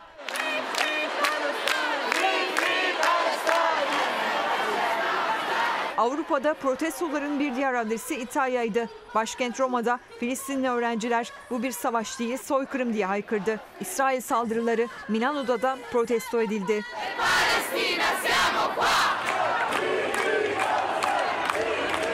Hollanda'da Filistin'e destek gösterisi düzenlendi. Amerika Birleşik Devletleri de geniş katılımlı protestolara sahne oldu. New York, Chicago ve daha birçok kent, Washington'da ABD Kongre binası önünde dev Filistin bayrağı açıldı.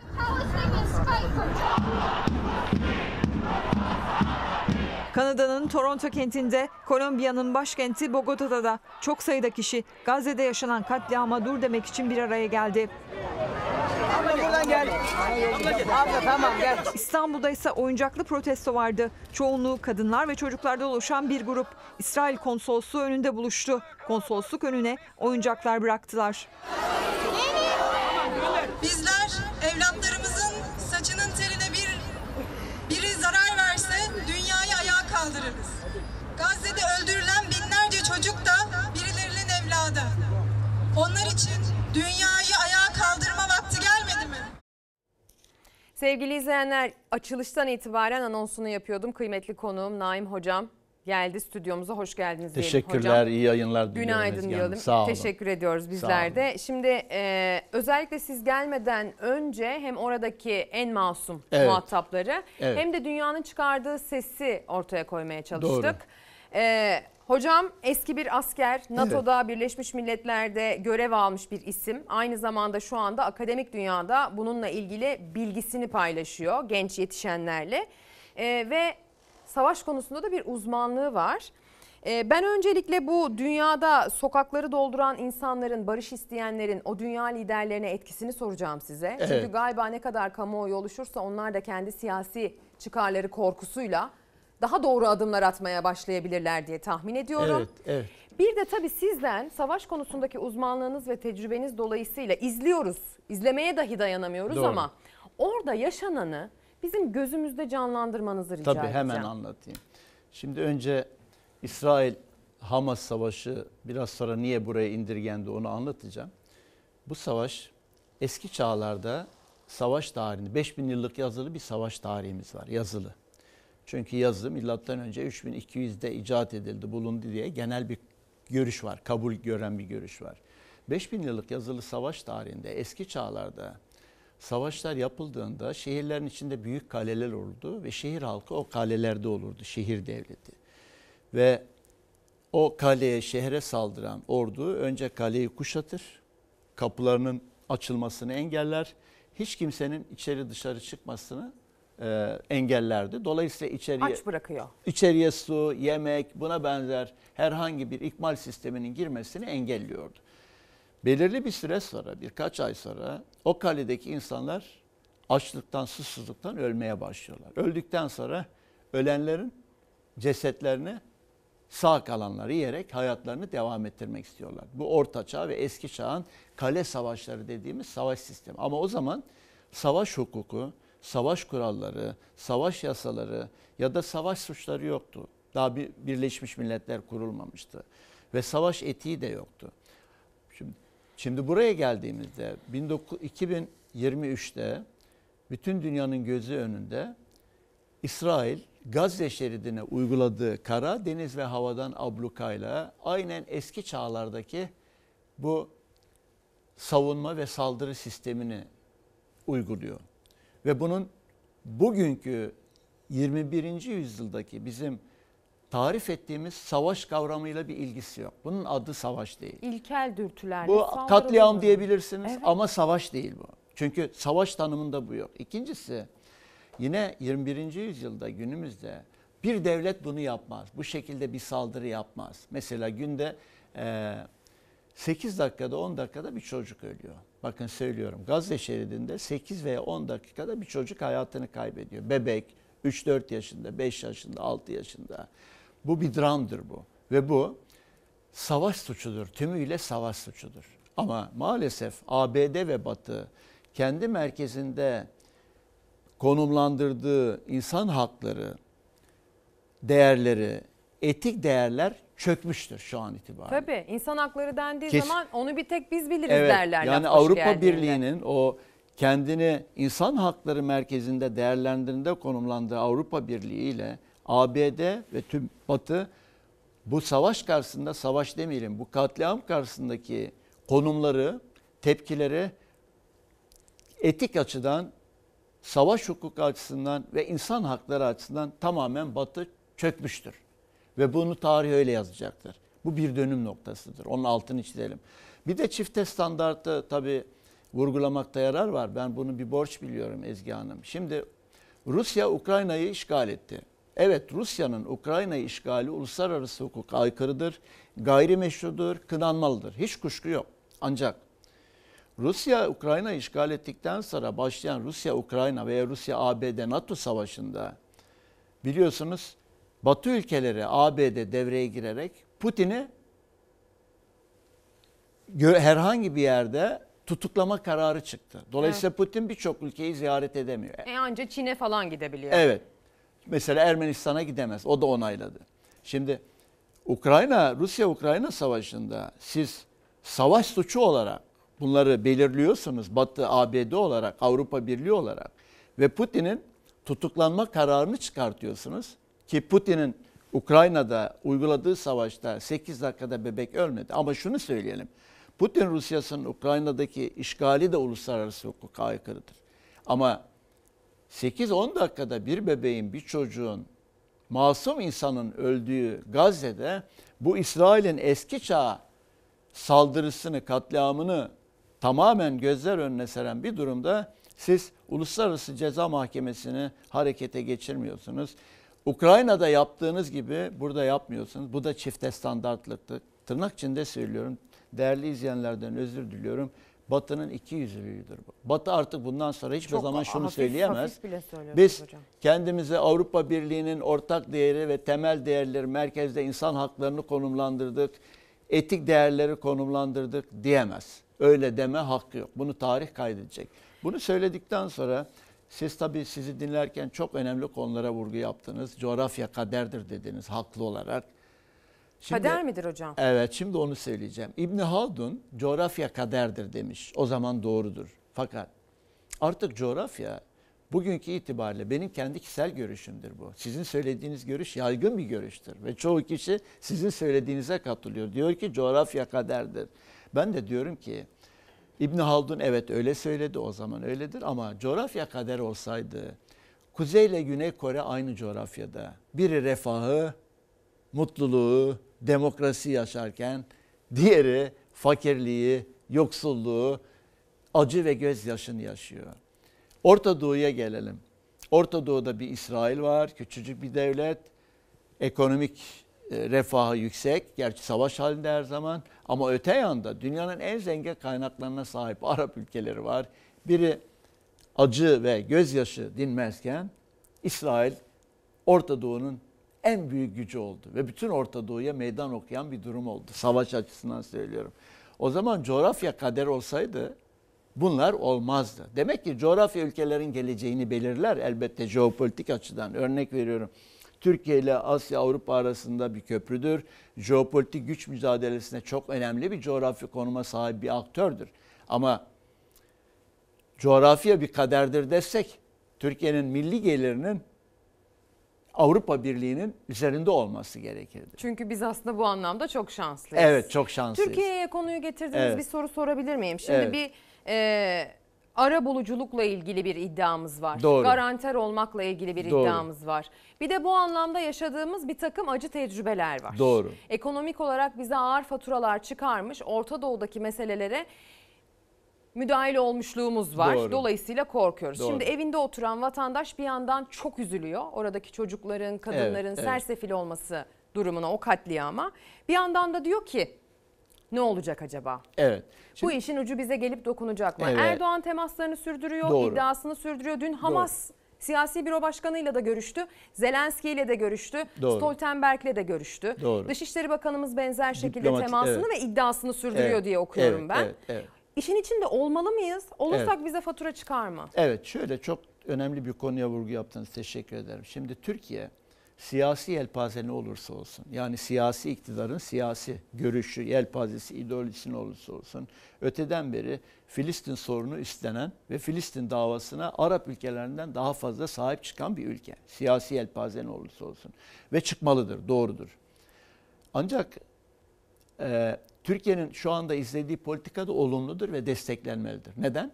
Çünkü Rusya-Ukrayna savaşı arasında bağımsız, objektif bir politika izledi NATO üyesi olarak. inisiyatif aldı, İstanbul'da görüşmeler yapıldı ve Putin Rusyası ile Ukrayna arasında e, görüşmeyi sağlayabilecek, masaya oturtabilecek, kolaylaştırıcı bir rol üstlendi. Doğrudur. Şimdi bunu da burada yapıyor. Bu da doğru. Desteklenmelidir.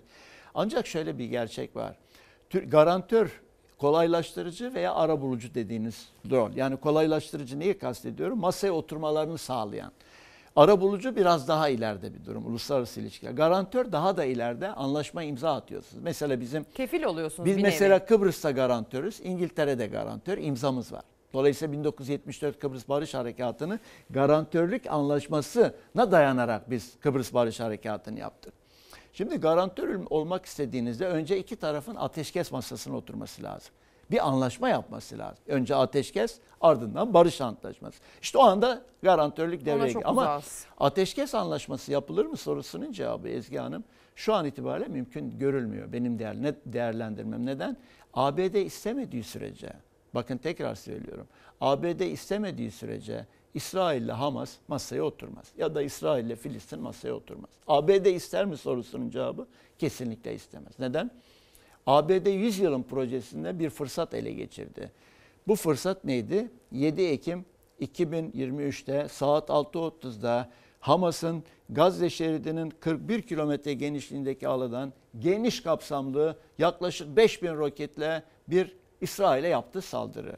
Bunu İsrail ve ABD meşru zemine çekti. Birleşmiş Milletler 51. maddesi gereği meşru müdafaa hakkı zeminine çekti. Onu oraya konumlandırdı. Şimdi o meşru müdafaa zeminini kullanarak bütün Batı, bütün dünya ülkelerinde İsrail mağdur, saldırı yapan Hamas o zaman İsrail meşru olarak kendini korumak zorundadır. Ama ABD'nin hedefi İsrail'de olduğu gibi sadece Gazze, sadece Batı Şeria, sadece Lübnan'ın güneyi değil, ABD'nin nihai hedefi Ezgi Hanım İran'dır.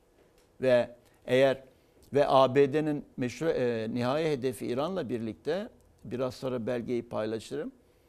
E, Suriye ve Irak da vardır haritaları değişmesinde. İşte bölge ülkeleri bu ciddiyetin yani ABD'nin bu planının ciddiyetinin farkına varmalı ve bölge ülkeleri aralarında ittifaklara gitmelidir. Neden? Suriye, Irak ve İran'ın sınırlarının değişmesi bölge için ölümcül bir etki yaratır. Evet. Bakın size bir belge okuyayım. 11 Eylül 2001'de hatırlarsanız ABD'de bir New York saldırısı oldu. 11 Eylül 2001'den sonra yaklaşık 10 gün sonra NATO komutanı, ben de orada görevliydim o zaman, NATO komutanı 4 yıldızlı orgeneral Pentagon'u ziyaret eder bir görev nedeniyle. Ee, Savunma Bakanı'nı görür. Adı Wesley Clark. Bu Wesley Clark 4 yıldızlı, yıldızı parlak bir general ABD'de sevilir. 2007'de ABD başkanlık seçimlerinde aday adayı da oldu emekli olduktan sonra. Önemli bir aktör.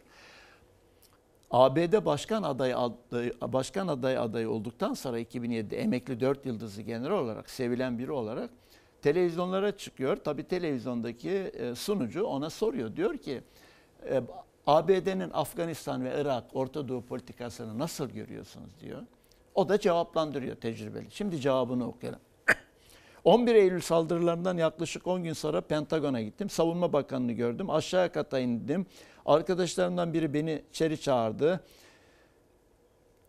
Bana sordum arkadaşa. Ya arkadaş bana dedi. Karar verdik Irak'la savaşa gireceğiz. Tarih 20 Eylül gibiydi. Irak'la mı savaşa giriyoruz dedim. Neden dedim. Bilmiyorum dedi. Sanırım başka ne yapacaklarını bilmiyorlar dedi. ABD Savunma Bakanı'nı göster. Çok güçlüyüz. Irak'ı yerle bir ederiz. Herhalde onun için Irak'ı işgal edeceğiz dedi. Peki Saddam'la El-Kaide arasında bir bağlantı buldunuz mu? Hayır hayır hiçbir şey bulmadık. Peki neden gireceksiniz? Bilmiyorum. Gireceğiz. Emir öyle aldı. Sonra ayrıldım. İki hafta sonra tekrar Pentagon'da işim çıktı. Savunma Bakanı'nı gördüm. Emir aldım. Aşağı katta o arkadaşı görmek istedim. Sordum ona hala Irak'la savaşa girecek miyiz diye sordum. Ondan da çok beter bir emir aldık dedi. Nedir emir dedim. Masasına çok gizli bir kağıt çıkardı. Çok gizli olunca ben çok gizli dedim almayın dedim. Askerlikte öyledir. Kendi yetkiniz değilse çok gizli okumazsınız. Dört yıldızlı üniformalı general olmasına rağmen. Buna rağmen yo yo oku dedi. Kağıdı aldım çok gizli kağıdı okudum. Son cümlesi şöyleydi. Irak'tan başlayarak Suriye, Lübnan, Libya, Somali, Sudan ve son olarak İran'la bitireceğiz. Tarih Eylül sonu 2001. Ki Evet. zaten sonra Irak'la başladı 2003'te bitirdi. Sudan yerle bir edildi. Çökmüş ülke. İki ay, üçe ayrıldı. Somali zaten adı var kendisi yok. Lübnan çökmüş ülke. Maaş ödeyemiyor. Şu anda İsrail güneyini işgal edecek. Libya 2011'de Saddam'ı linç edildi. NATO yardım etti ve yerle bir edildi. Aşiret kavgası kan Kaddafi. gövdeyi götürüyor. Suriye Halep limanı 3 defadır bombalanıyor. Şam limanı 2 defadır bombalanıyor. Uluslararası havalimanı dışa atılan pen- pencere bir tepki yok. Herhangi bir silah sistemini kullanamıyor. Kendini savunamıyor. Gitmiş. Kendini savunamıyor. Suriye'nin %25'i de ABD tarafından PYD, PKK terör örgütüne işgal ettirilmiş. Petrol kaynakları dahil. Yani Şam yönetimi var ama sadece var. Koruyamıyor. O da dağıtıldı. Ne kaldı sırada? İran. İran. Şimdi hangi safhadayız? Şimdi işte ABD'nin donanmasını, ABD donanması Gazze şeridi için gelir mi? Gazze şeridi 41 kilometre, 6-12 kilometre genişlikte bir yer. Onu Haritada İsrail- gösterebiliriz evet, bu haritada, arada. Haritada bakın. Şimdi sırada burada İran var. Hı hı. ABD için İran. İsrail için Gazze şeridi. İsrail Gazze şeridi bu a- 12 veya 6 ki 16 kilometre genişlikte 41 kilometre uzunlukta küçücük bir şerit. Ama dünyanın en fazla nüfusunun barındığı bir yer. Kilometre kare. Şimdi burayı İsrail bu renge dönüştürecek. Kendi toprağına ilan edecek. Filistinli kalabilir ama burayı boşalttırıyor. Kuzeyde biliyorsunuz hastane bombaladı, kilise bombaladı. Dolayısıyla insanlar buradan 700 bin, 800 bin kişi güneye doğru kaçtı zaten. Çocuğunu alan kaçtı. Burayı boşalttırıyor, insansızlaştırıyor. Filistinsiz bir Gazze. Burayı İnsansızlaştırdıktan sonra yapacağı kara harekatından kendisine alacağı tepki daha mı az olacak? E, hayır. Şöyle toprağına kendi toprağını ilan etmesi durumunda daha kolay olacak. O onu düşünür. Şunu unutmayın Ezgi Hanım. Savaş, savaş tarihatından savaş şahinleri daima sever. Savaşta güvercinlerin yeri yok. Yani savaş savaştaki şahinler için ölü sayıları veya kayıplar sadece istatistiki bir rakamdır. 8 dakikada bir bebeğin, bir çocuğun ölmesi onları hiç endişelendirmez. Peki kendi Mesela ülkelerinde- Mussolini der ki, Mussolini demiş ki bunlar da otur. Barış masasına oturabilmem için birkaç bin ölüye ihtiyacım var demiş. o kadar basit. Bu Peki şahin. bu insanlar, bu Evet. liderler kendi ülkelerinde seçim kaybetmekten, reputasyon kaybetmekten, destek kaybetmekten korkmuyorlar Şu mı? anda korkmuyor çünkü şu anda Netanyahu'yu değiştirecek hiçbir güç yok. ABD ile beraber haritayı şekillendiriyor. İstedikleri kadar yürüsünler. Problem değil. Seçim yok. Onun için bu bölgeyi Gazze'ye şimdi bir kara saldırısı kaldı. Tanklar hazır, askerler hazır. Dün itibariyle tümüyle hazır askerler. Siyaset makamından yani Netanyahu'dan direktif bekliyorlar siyasi. Siyasi direktifi niye vermiyor Netanyahu? ABD'nin bazı birliklerinin şimdi ABD Pentagon buraya hem e, Ford en büyük dünya savaş gemisi, uçak gemisi ve savaş grubunu gönderdi. Şimdi Doğu Akdeniz'de Ayrıca Eisenhower gerisi intikal halinde 2-3 gün içerisinde burada. İngiliz savaş gemileri intikal halinde 2-3 gün içerisinde burada. Bir de yeniden İran'a karşı ek birlik gönderiyor. Hava savunma sistemleri ve yüksek irtifa sistemler gönderiyor İran için. Biden'ı ikna etti gönderiyor. Şimdi bunlar da yerleşme durumuna gelince çünkü Gazze şeridine kara saldırısıyla beraber İran'ın da olaya müdahil olma durumu yüksek. ABD bunu okudu. Onu da meşru zemine çekecek. Evet, Bir meşru müdafaa da orada. İran müdahale ettiğinde bu kara saldırısı nedeniyle füze attığında İsrail'e bu kez ABD'nin ve İngiltere'nin burada konuşlandırdığı ve Körfez'de konuşlandırdığı üsleriyle İran'ı vuracaklar. Ve İran'la ABD çatışmaya, sıcak çatışmaya başlayacak. Ama ABD hiçbir zaman İran'a asker göndermez. Yani askerin ayağını değdirmez İran toprağına. Kara harekatı olmaz ABD. Neden? Çok kayıp verir. İran coğrafyası çok büyüktür. İran bir Pers kültür, kültürüdür, köklü bir devlettir ama havadan ve denizden sürekli ekonomik tesislerini, köprülerini, nükleer güç üreten tesislerini, öncelikle o uranyum üreten tesislerini, çok önemli sanayi tesislerini, çok önemli kulağını ve gözünü sağır edecek ordunun komuta kontrol sistemlerini vuracaktır buradan. Ve hiç kuşkunuz olmasın Netanyahu hep bunu istiyor. ABD ile İran savaşa tutuşsun da bu fırsat bir daha elimize geçmez diye sürekli İran'ı ve burada Lübnan'ın güneyindeki Hizbullah'ı kışkırtıyor. Peki İsrail'in Çünkü o hedef- İran Hiz- Evet, Hizbullah'ı. tabii. Tabii İran Hizbullah'ı. Peki İsrail'in hedefi sadece Gazze şeridi mi değil? Şimdi Gazze şeridini bu renge çevirecek. Batı Şeria'da şu, şu anda sürekli bombalıyor Batı Şeria'nın çeşitli bölgelerini. Bu haber olmuyor. 100 kişi öldü Batı Şeria'da şurada. Bunun da şu gri rengini büyük bir bölümünü şu İsrail'in şu açık renge dönüştürecek. Burada Filistinlilerin sahip olduğu mülkleri boşalttıracak zorla, bombalamalarla ve bunun yerine İsrailli vatandaş yerleştirecek. Ama asıl hedef Lübnan'ın güneyi, güneyde Hizbullah var. Hizbullah şu anda 2006'da İsrail'e bir darbe vurmuştu. Şu anda 12 kat daha güçlendi. Hem silah açısından hem personel açısından. Personeli 100 bine yakın, silah sistemi 200 bin rokete yakın füzeye. Şimdi burayı da işgal edecek. Burada şimdi yaklaşık çok sayıda 5 kilometreye kadar yerleşim birimlerini tahliye etti. İnsanları, İsrail'in burada oturan köylerde, mahallelerde insanlar geri getiriliyor. Bu da haber olmuyor. Neden? Saldırıya hazırlık için. Çünkü Hizbullah e, e, İsrail Hizbullah'a saldırmaya başladığında, harekat başladığında Hizbullah'ın muhtemelen 5-10 kilometre İsrail'e doğru girme ihtimali var saldırıda. Buradaki köyleri boşaltıyor, şehirleri boşaltıyor İsrail. 5 kilometreye kadar boşaltmak üzere. Ondan sonra Hizbullah'la başlayacak. Lübnan'ın güneyini işgal edecek. Şimdi Lübnan'ın güneyini işgal ederken eğer İsrail'i zorlayan bir durum olursa ABD'nin donanmasından füzeler atılacak. Lübnan'ın güneyi yerle bir edilecek. Ama asıl hedef ne dedik biz? İran. İran. ABD'nin hedefi bu. Ve ABD'nin hedefi İran olunca Suriye'de şu anda şurada Şam var, kuzeyde Halep var.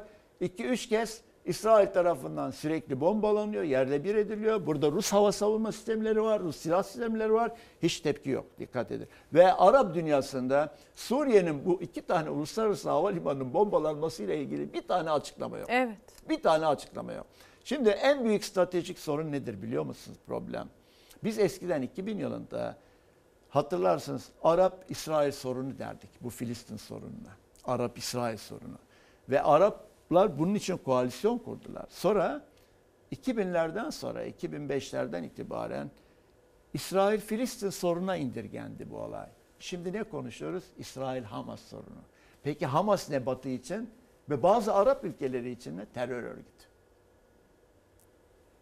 Dolayısıyla bu Arap-İsrail sorununun 20-25 yılda İsrail-Hamas sorununa bir de çoğu ülke, Batı ülke tarafından terör örgütü, birkaç Arap ülkesi tarafından da terör örgütü olarak kabul edilen Hamas'ın İsrail-Hamas sorununa indirgenmesi aslında Filistin sorunun ve davasının üzülerek söylüyorum yok oluşudur. Masada kaybedilmiş bu. Şimdi sahada bunun haritalarını çiziyor. Suriye'de harita değişecek. İsrail şu bölgeyi işgal edecek. Bakın Golan Tepeleri işgal etti zaten ama Suriye'nin güneyini işgal edecek. Kendini korumak için. Bu harita değişecek. Irak'ın haritasının değişme durumu yüksek. Kuzey, güneyde Şii devleti. Ne kadar zamanda bunları öngörüyorsunuz hocam? Bu 20-30 yıl sürer bu. Evet. Savaş uzmanlarının hesabı şudur. 5000 yıllık yazılı tarihte. Böyle bir yerde, Yemen'de, Libya'da, Irak'ta, Suriye'de, Afganistan'da bir iç savaş, böyle bir bölgesel savaş çıkarsa kaç yıl sürer diye hesaplamışlar. Uzun yıllar almış. Bir yerde iç savaş çıktığında böyle her şey olumlu giderse Ezgi Hanım en az 10-15 yıl sürer. Peki soru şu. Her şeyin olumlu gittiği bir iç savaş, bir bölgesel savaş bu şekilde olmuş mu? Olumlu Tabii. derken planlandığı gibi. Yani diyelim ki ateşkes zamanında oldu, anlaşma zamanında oldu, taraflar anlaştı gibi. Peki her şeyin olumlu gittiği bir savaş var mıdır sorusunun cevabı hiç olmadı. Afganistan 1980'de başladı. 43 yıldır devam ediyor. Kan gövdeyi götürüyor. Masada kaybedildi şimdi artık sahada kaybedilecek. Sa- Evet sahada Geri dönüş maalesef. yok mu diyorsunuz? Maal- Şöyle tabii artık çok geç. Neden biliyor musun? Çok üzerek söylüyorum. İşte bu biraz önce Pentagon'da okuduğum belge var. Şimdi Irak işgal edilirken Arap ülkeleri neden ABD ile işbirliği yaptı bazı Arap ülkeleri? Veya Irak işgal edildiğinde bölge ülkeleri ve Arap ülkeleri neden karşı çıkmadılar? İşgali önlemedi. Suriye ve Libya sözde Arap Baharı benim gerçekte kanlı sonbahar dediğim o olayda Suriye ve e, Libya dağıtılırken dağıtılırken durduğunuz yerde dağıtılırken 10 bin kilometreden gelen bir ABD, Suriye ve Libya parçalanırken Arap ülkeleri ve bölge ülkeleri neden bazıları ABD ile işbirliği yaptı ve karşı çıkmadı? İşte o, o ilk halka çok önemliydi. Suriye, Libya ve Irak dikkat edin siz çok tecrübeli bir habercisiniz. Eskiden bu üç ülke tenkit edelim. Saddam diktatördür evet. Libya Muammer Kaddafi çılgındır, diktatördür. O ayrı. Ama Esad ailesi öyle. Fakat bu üç ülke İsrail'in politikalarına ve ABD'nin bölgedeki politikalarına en fazla tepki gösteren ülkelerdi. Bunların üç yerle bir edildi. Yerle bir edilince ne oldu? İsrail'in önündeki bütün engeller kalktı. ABD'nin önündeki engeller kalktı. ABD'ye tepki gösteren dediniz. Biz çok yakın zamanda 7 Ekim'in öncesinde Evet. eee, Suriye topraklarında ilk defa hava aracı Amerika tarafından düşürülmüş bir SİHA ülkeyiz. bizim. SİHA'mız. Bizim SİHA'mız. Bizim Türk SİHA'mız SİHA'sı. Amerika Evet, tarafından evet, düşürüldü. evet, Ve evet. bu bildiğim kadarıyla iki ülke tarihinde ilk. İlktir. 1992'de e, bizim Muavenet adlı gemimizi bombaladılar. Beş şehidimiz, o da NATO tatbikatındaydı yalnız. Muavenet adlı deniz gemimizi bombaladılar. Tatbikat esnasında 5 şehidimiz, 20 yaralımız oldu. Ama ilk kez bir NATO üyesi ülke, diğer NATO üyesi ülke olan Türkiye'nin hava aracını düşürüyor. Bunu siyah olarak algılamayın. Hava aracını düşürüyor. Bunu eee, göz önünde bulundurarak cevaplamanızı Evet. rica ediyorum. Biz bu planın neresindeyiz? Diyelim ki hiçbirinde değiliz. Bu hiç etkilenmeyeceğimiz anlamına Evet. geliyor mu? Evet biz etkileniriz. Neden etkileniriz? Suriye zaten şu anda parçalanmış. Etkilendik. 9-11 kilometrelik Suriye-Türkiye sınırı ne oldu? Terör üreten bir coğrafyaya dönüştü. Dünyanın hiçbir ülkesi 9-11 kilometre kara sınırını terör üreten bir coğrafyayla yaşamak istemez. Ama Türkiye mecburen yaşıyor. İki ne oldu başka? ABD tarafından Suriye'nin %25'i işgal edilerek ama dikkatinizi çekerim. Değerli izleyenlerin dikkatini çekmek istiyorum. PYD PKK terör örgütüne işgal ettirdiği Suriye Fırat Nehri'nin doğusundaki o toprak nedir biliyor musunuz alan? Suriye enerji kaynaklarının %90'ı. Suriye su kaynaklarının %85'i. Suriye verimli topraklarının %80'i. Projeyi görüyor musunuz? Orada. PYD PKK terör örgütü bir devletçik oldu. 70 bin 100 bin silahlı teröristiyle. Vergi topluyor. Mahkemeleri var. Polisi var. Asayişi var. Hastane var. 24 saatlik belediye hizmetleri var. Bir tekneyi yok. Parası yok. Bir de tanınmamış. Zaten onu da verse kontrolü Evet. kaybedecek Şimdi Amerika bunu belli ki. Bu var şimdi. Türkiye'nin BK sorunu bu. bu. Şimdi Suriye şimdi tekrar haritalar çizildiğinde ABD'nin e, öngördüğü proje nedir? Bu ne diyor Biden? Orta Doğu'yu değiştireceğiz. Öyle bir düzen kuracağız ki diyor bir daha savaş olmasın böyle. Ee, Netanyahu da diyor biz diyor bu savaş çok uzun sürecek. Biz Orta Doğu'yu değiştireceğiz diyor. E doğru Pentagon biraz önce okudum kağıdı tası yazıyor zaten. Bir de Kissinger meşhur Kissinger biliyorsunuz ABD'nin eski Dışişleri Bakanı çok önemli bir aktördür yumuşak güçtür. 2014'te verdiği yaptığı açıklamada dedi ki Birinci Dünya Savaşı sonunda kurulan e, ittifaklarla kurulan 1919-1920'de kurulan sınırlar değişmelidir Orta Doğu'da dedi. Yani ABD'nin attığı her adım aslında hiçbiri gizli değil. Şimdi bizi ne etkiler? Fırat'ın doğusundaki o terör örgüt terör devletçiğine dönüşen o ABD'nin oluşturduğu devletçikle Kuzey Irak'taki sistemin birleşmesi, Doğu Akdeniz'e açılan bir devlet. Bu yüzyılın projesidir bu. Bu bir gizli değil. Bakın bunun taşları nerededir? 1919'da bu harita çizildi. İngiliz istihbarat binbaşı Noel tarafından Londra'ya gönderildi. Buna Noel haritası deriz. İkincisi Sevr'de aynı harita var. Sevr'i çöpe atıldı. O e, kahraman kadro tarafından, Büyük Atatürk tarafından Sevr çöpe atıldı. Lozan Barış Antlaşması yapıldı ama Sevr hayali hiçbir zaman bitmedi onlarda. Ve geldik 2003'te Büyük Orta Doğu Projesi çıktı. Benzer harita. 2000 Ama bir su rica 2000 edelim mi arkadaşlar? 2021'e geldik. Hatırlarsanız eee, Vatikan Devlet Başkanı meşhur Papa Irak'ı ziyaret etti ve Kuzey Irak'ı ziyaret etti. Barzani ziyaret etti. O zaman Kuzey Irak yönetimi ne yaptı? Irak Kürt Bölgesel Yönetimi Ezgi Hanım bir harita çizdi. Papa ziyaret anısına, onuruna pul bastırdı. Buna Papa pulu dedik biz. Bir baktık ki o bastırılan harita 1919'daki Noel haritasına çizdiği sözde Kürdistan haritasının sınırları. Büyük Orta Doğu projesindeki Türkiye'den alınan o sözde Kürdistan haritasının sınırları. O var. Şimdi bütün bu taşlar dizildiğinde Türkiye'de etkilenir. Onun için Türkiye şu anda uygun politika izliyor. Ama kendisinin sadece uygun politika izlemesi yetmiyor. ABD durmuyor. Ve bu savaş uzun sürecek. Bu savaşta bazı değerli yorumcular, değerlendirme yapılanlar İran'a sıçramaz, Irak'a sıçramaz, Suriye'ye sıçramaz diyorlar ama ben savaş uzun sürecek derken ABD askerlerinin Irak'ta, Suriye'de ya da İran'da sahne almalarını kastetmiyorum. Denizden, havadan, ekonomik ablukalarla, yurt içinden yani coğrafyanın içinde, İran'ın içinde e, mesela PKK terör örgütünün kolu PEJAK var. Değişik yerlerde IŞİD terör örgütü var, El-Kaide terör örgütü, türevi örgütler var. Bunları da harekete geçirerek İran'ın ve diğer ülkelerin içinde bir istikrarsızlık yaratacaklarını ama istikrarsızlıkla beraber havadan önce nükleer tesislerini sonra önemli stratejik tesisleri ve yerleri vurarak İran'ı yavaş yavaş gözü kör, kulağı sağır hale getirerek rejimini değiştirmeyi ve orada belki haritayı değiştirmeleri e, düşündüklerini belgeye göre söylüyorum. Öyle değerlendiriyorum. Hı hı. Onun için Türkiye şu anda izlediği yol doğrudur ama Türkiye, Suriye, İran, Irak gibi ülkeler artık ittifak yapmalı bu durumda. Çünkü birinin parçalanması demek hele hele Irak, Suriye ya da Irak, e, İran ya da İran, Irak, Suriye'nin tekrar bu şekilde dizayn edilmesi gerçekten Orta Doğu için ölümcül bir darbe olur. Bunun Türkiye'de tahammülü yok. Birincisi bir kere göç akını olur. İkincisi bütün coğrafya terör üreten bir co- e, alana dönüşür. Türkiye'nin buna tahammülü yok. Üçüncüsü e, biraz önce söyledim. Büyük güçlerin projesini unutmayalım. Sözde Kürdistan Devleti. Türkiye, Hatay dahil, Kahramanmaraş, Erzincan, Erzurum, Kars ve Güney. Bu bir sır değil. Papapulun'da da aynı harita var. Sev'de de aynı harita var. Büyük Orta Doğu'da da aynı harita var. Bunu yani ABD bunu gizlemiyor. Gizlemiyor. Ama şimdi söyledi. Artık dedi Orta Doğu haritasını değiştireceğiz. SİHA'ya geldik.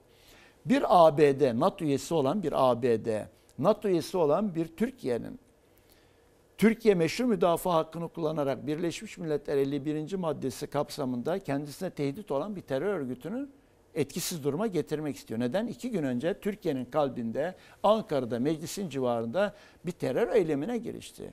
Bu dünyanın en meşru hakkıdır. Her ülke bunu yapar. Türkiye onu yaparken NATO üyesi olan müttefik dediğiniz, tırnak içinde müttefik dediğiniz bir ülke sizin hava aracınız düşürüyor. Bu şu demek. Doğrudan savaş açmadığı kaldı. Evet. Odur bu. Çünkü ne yapabilirdi? Türkiye derdi ki SİHA aracınız yaklaştı. Bizi tehdit ediyor. Bizim angajman kuralları var. Lütfen geri çekin. Bunu söylemiyor. Ne diyor? Biz yukarıdan sorduk. Yani emir komuta zinciri içinde yukarıya gitti. Komutanlarından izin aldı. Düşürün dedi. Yani Türk e, SİHA'sı olduğunu biliyor. Nereden kalktığını biliyor. Ne amaçla geldiğini biliyor. İkaz etme ihtiyacı hissetmiyor. Düşürdü. Ve dedi ki ardından verdikleri mesajlarda biz burada böyle bir durum olunca mutlaka gerekli tepkiyi gösteririz. Yani düşürürüz burada uçmayın hı, dedi. hı hı. Bu şu demek bir NATO üyesi ülke diğer NATO üyesi ülkenin e, bu aracını düşünerek doğrudan savaş açmadığı kaldı. Türkiye bunu okumalıdır bence. Anlıyorum hocam. Gerçekten öne sürdükleriniz, öngörüleriniz aslında daha önce karşılaşmadığımız bilgiler olmamakla bir- birlikte yine Evet. de oldukça ürkütücü ve çarpıcı gerçekten. Siz de değindiniz. Ee, aslında konunun her noktasında benim aklıma geliyor. Ne kadar şanslı olduğumuz, Atatürk'ün ne kadar öngörülü şimdi bakın. olduğu, Cumhuriyet'in 100. yılındayız bu yıl. Her Evet. ne kadar bunu hissediyor olmasak da etrafta e, galiba önemini, kıymetini daha iyi anlamamız Bakın, gerekiyor artık. Evet çok teşekkür ederim. Belki bir iki dakikada bunu açıklama fırsatı bulurum. Ben hiç mucizeye inanmam. Komplo teorilerle de hiç ilgim yok. Ama mucize var mı derseniz Atatürk'ün Cumhuriyeti Atatürk'ün mucizesidir. Lozan Barış Antlaşması, dış politika konuştuğumuz için söylüyorum. Lozan Barış Antlaşması 1923'te imzalandı. 100 yıl oldu ve Lozan Barış Antlaşması geçerliğini devam ediyor. Birinci ve ikinci Dünya, Birinci Dünya Savaşı'ndan sonra imzalanan benzer bütün antlaşmalar yerle bir oldu. Bir tek Lozan Barış Antlaşması duruyor. 1936 Montre Boğazlar Sözleşmesi duruyor. Büyük Atatürk'ün yaptığı. Boğazların anahtarı Türkiye'nin elinde. İsterse kilidi açar. Montre Boğaz, Lozan Barış Antlaşması da Cumhuriyet'in tapusudur. Atatürk'ün Cumhuriyeti nedir biliyor musunuz? Dış politikada gerçekçiliktir. Hayalciliğe yer vermez. Dış politikada Atatürk'ün öne sürdüğü yurtta barış, dünyada barış nedir biliyor musunuz? Bazıları yurtta barış, dünyada barış politikasını pasif diyerek, kendi içine çekilmiş diyerek burun kıvırır. Atatürk'ün yurtta barış, dünyada barış politikası dünyanın en aktif politikasıdır. Nedir biliyor musunuz? 1936'da 20 Temmuz 1936'da o vizyoner görüş sahibi Atatürk o jeopolitik güç mücadelesindeki konumu gördü ve ne yaptı? Boğazlar üzerindeki tam egemenliği sağlamak için Montre Boğazlar Sözleşmesi'ni oluşturdu ve Boğazlar Türkiye'nin Türkiye'nin egemenliğine girdi Boğazlar. Diğer konu ne yaptı? Hatay.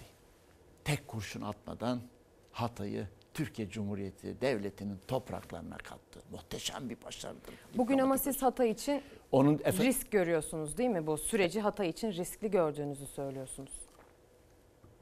Evet ben Hataylıyım onun için Atatürk'e karşı çok fazla borcum var. Sizin bir borcunuz varsa benim on borcum var.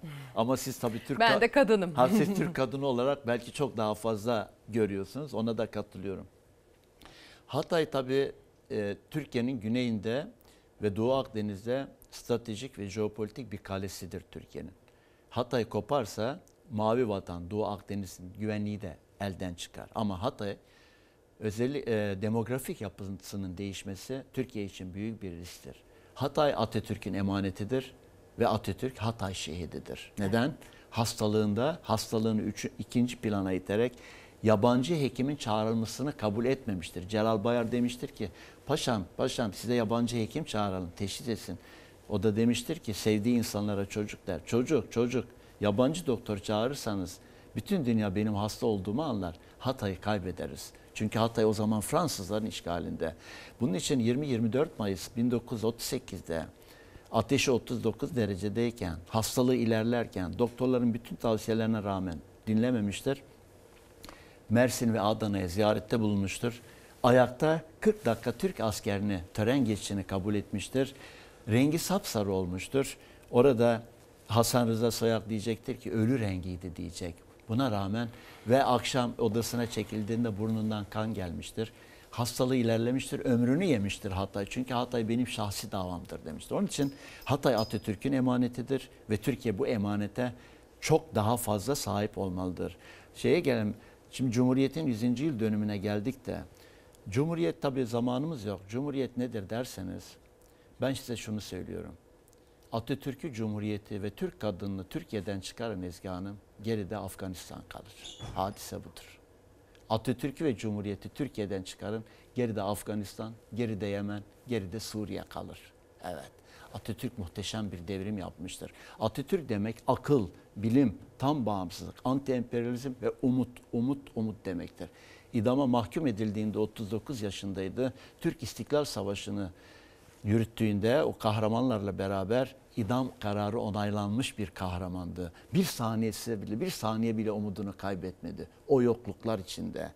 Hazinede para yok, düzenli ordu yok, silah yok ama düşman İngiliz, Fransız, İtalyan, Yunan hepsi Anadolu'yu Türkiye işgal etmiş ve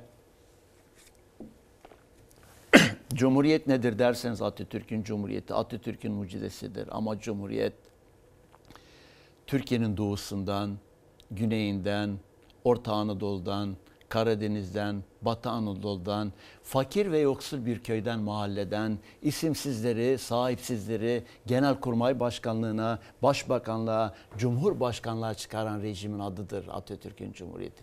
Atatürk'ün Cumhuriyeti Mardin'in yoksul bir Savur ilçesinden okuma yazma bilmeyen anne babadan doğan Aziz Sancar'ı Nobel Bilim Ödülü'ne taşıyan güneyde Süleyman Demirel'i fakir bir İslam köyden Çoban Sülü'yü Cumhurbaşkanlığı makamına çıkaran rejim adıdır. Fırsat eşitliğidir, liyakattır Atatürk'ün Cumhuriyeti. Onun için Atatürk'ün Cumhuriyeti 100. yıl dönümünü ulaştığında Türkiye Cumhuriyeti Devleti ve içinde yaşayan herkes çok şanslı olduğunu bilmeli.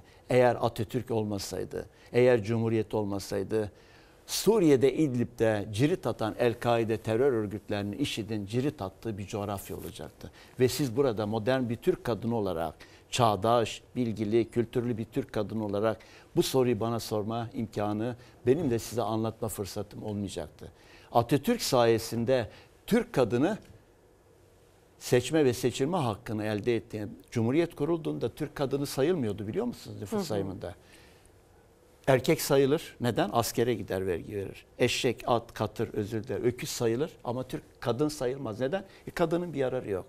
Nüfus sayımı Cumhuriyet'ten sonra Türk kadın nüfus sayımına girdi.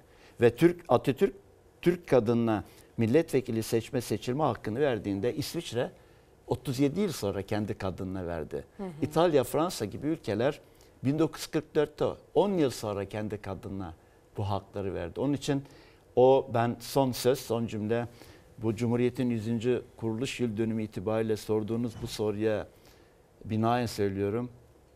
O Cumhuriyeti kuran kadroya, başta üç Mustafa'ya, Mustafa Kemal Atatürk'e, Mustafa İsmet İnönü'ye, Mustafa Feyzi Çakmak'a, o kahramanlara ve vatandan milletten başka sevgili bilmeyen o kuşağa saygı ve minnet duygularımı iletiyorum. Ruhları şad olsun diyorum.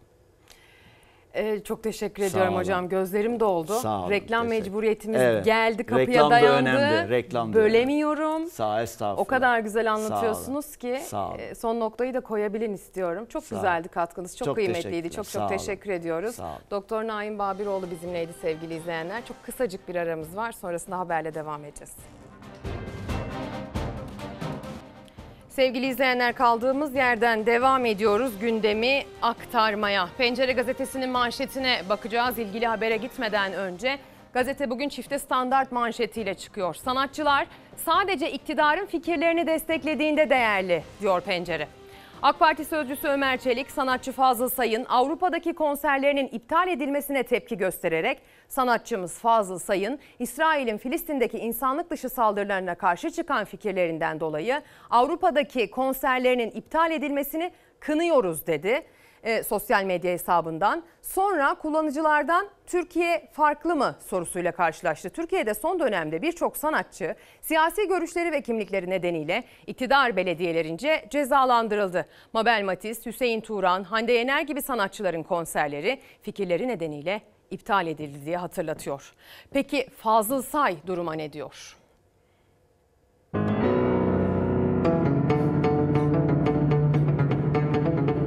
Netanyahu'nun da acımasız bir siyasetle o Gazze'de yaşanan yani orası bir açık hapishane bunu bütün dünya biliyor.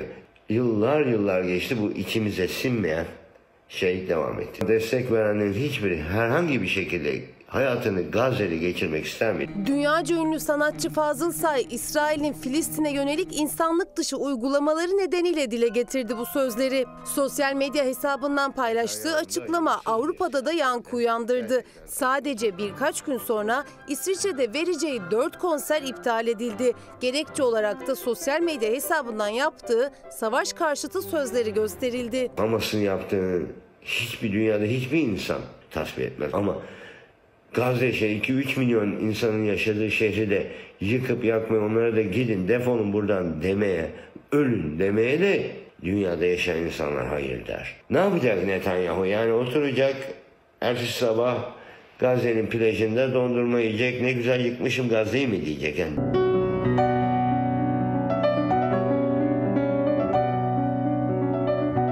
Fazıl Say İsviçre'de 23-26 Ekim tarihleri arasında 4 farklı şehirde konser vermeye hazırlanıyordu. Daha önce 20 kez konser verdim dediği o salonda piyano başına geçip provada yaptı. Ancak sahneye 3 gün kala Say konser programından çıkarıldı. Ünlü sanatçı sosyal medya hesabından zorunlu açıklama diyerek duyurdu. Planlanmış 4 konserimizde ben programdan çıkarıldım. Yetkililer sebep olarak İsrail-Filistin gerilimi konusunda sosyal medyamda yansıttığım fikirlerimi gösterdiler. Dinlenmediğimiz, sesimizin duyulmak istenmediği bir ortamdayız. Ben Avrupa'da ifade özgürlüğüne güven duyulur, karanlık ve anlayışsızlık yaşanmaz diyebilirdim.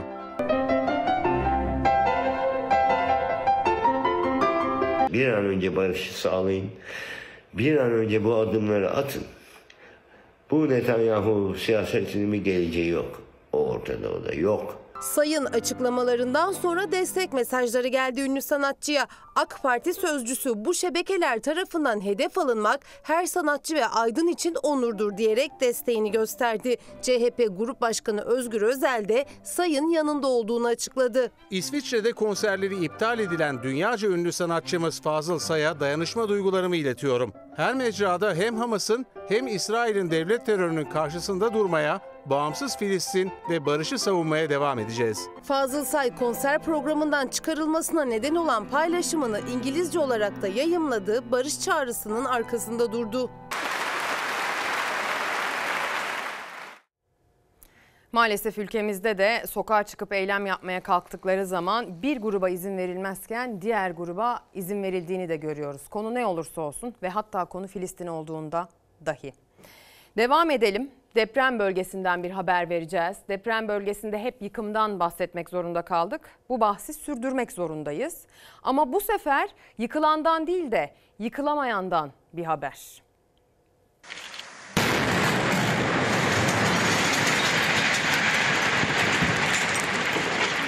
Durdu abi.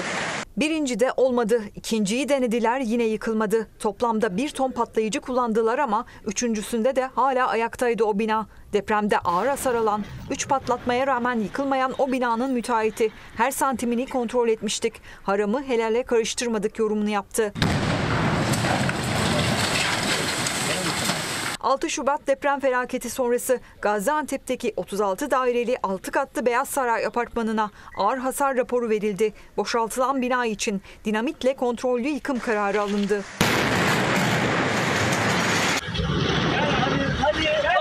Yıkım çalışması sabaha ertelendi. Üçüncü patlatma esnasında binanın müteahhiti de mahalledeydi. 240 kilo patlayıcı kullanıldı bu kez. Depremde aldığı hasarın üstüne patlatmanın yaşattığı tahribat da binayı yıkamadı. Burayı yaparken insanlardan aldığımız parayı tamamen helal etmek için çalıştık. Müteahhit Murat Tekin apartmanı inşa ederken her noktasını kontrol ettiklerini söyledi. Nasıl söylenir bilmiyorum ama biz çalıştık, emek ettik. Niye yıkılmadığını da bilmiyorum. Helale haramı e, ayırt etmeye çalışıyoruz. Üç kez patlatmaya rağmen ayakta kalan bina kontrollü olarak yıkılamayınca kepçe devreye girdi. Beyaz Saray apartmanı iş makinesiyle yıkılmaya başlandı. İnsanlar zarar görmesin. Tek temennimiz bu. Dünya malıdır, gelip geçer. Gene çalışırız, yine kazanırız, yine yaparız ama insanlar e, zarar görmesin yeter ki. Tek temennimiz bu. Sizin yüzü suyu hürmetine dönüyor efendim. Böyle insanların yüzü suyu hürmetine dönüyor gerçekten. Herkes işini iyi yapsa zaten. Öyle değil mi? 10 yaşındaki Mehmet Sıdık Çanakkale Bayramiç'te tarlada, kendi tarlalarında ölü bulundu. Herkes yıkıldı. Neden olduğu önce anlaşılamadı. Sebebi anlaşıldıktan sonra herkes bir kez daha yıkıldı.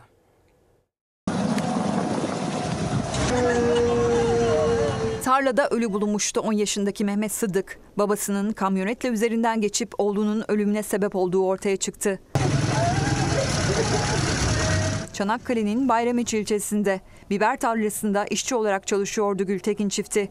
Çiftin 10 yaşındaki oğulları Mehmet Sıddık 15 Ekim günü oyun oynarken gözden kayboldu.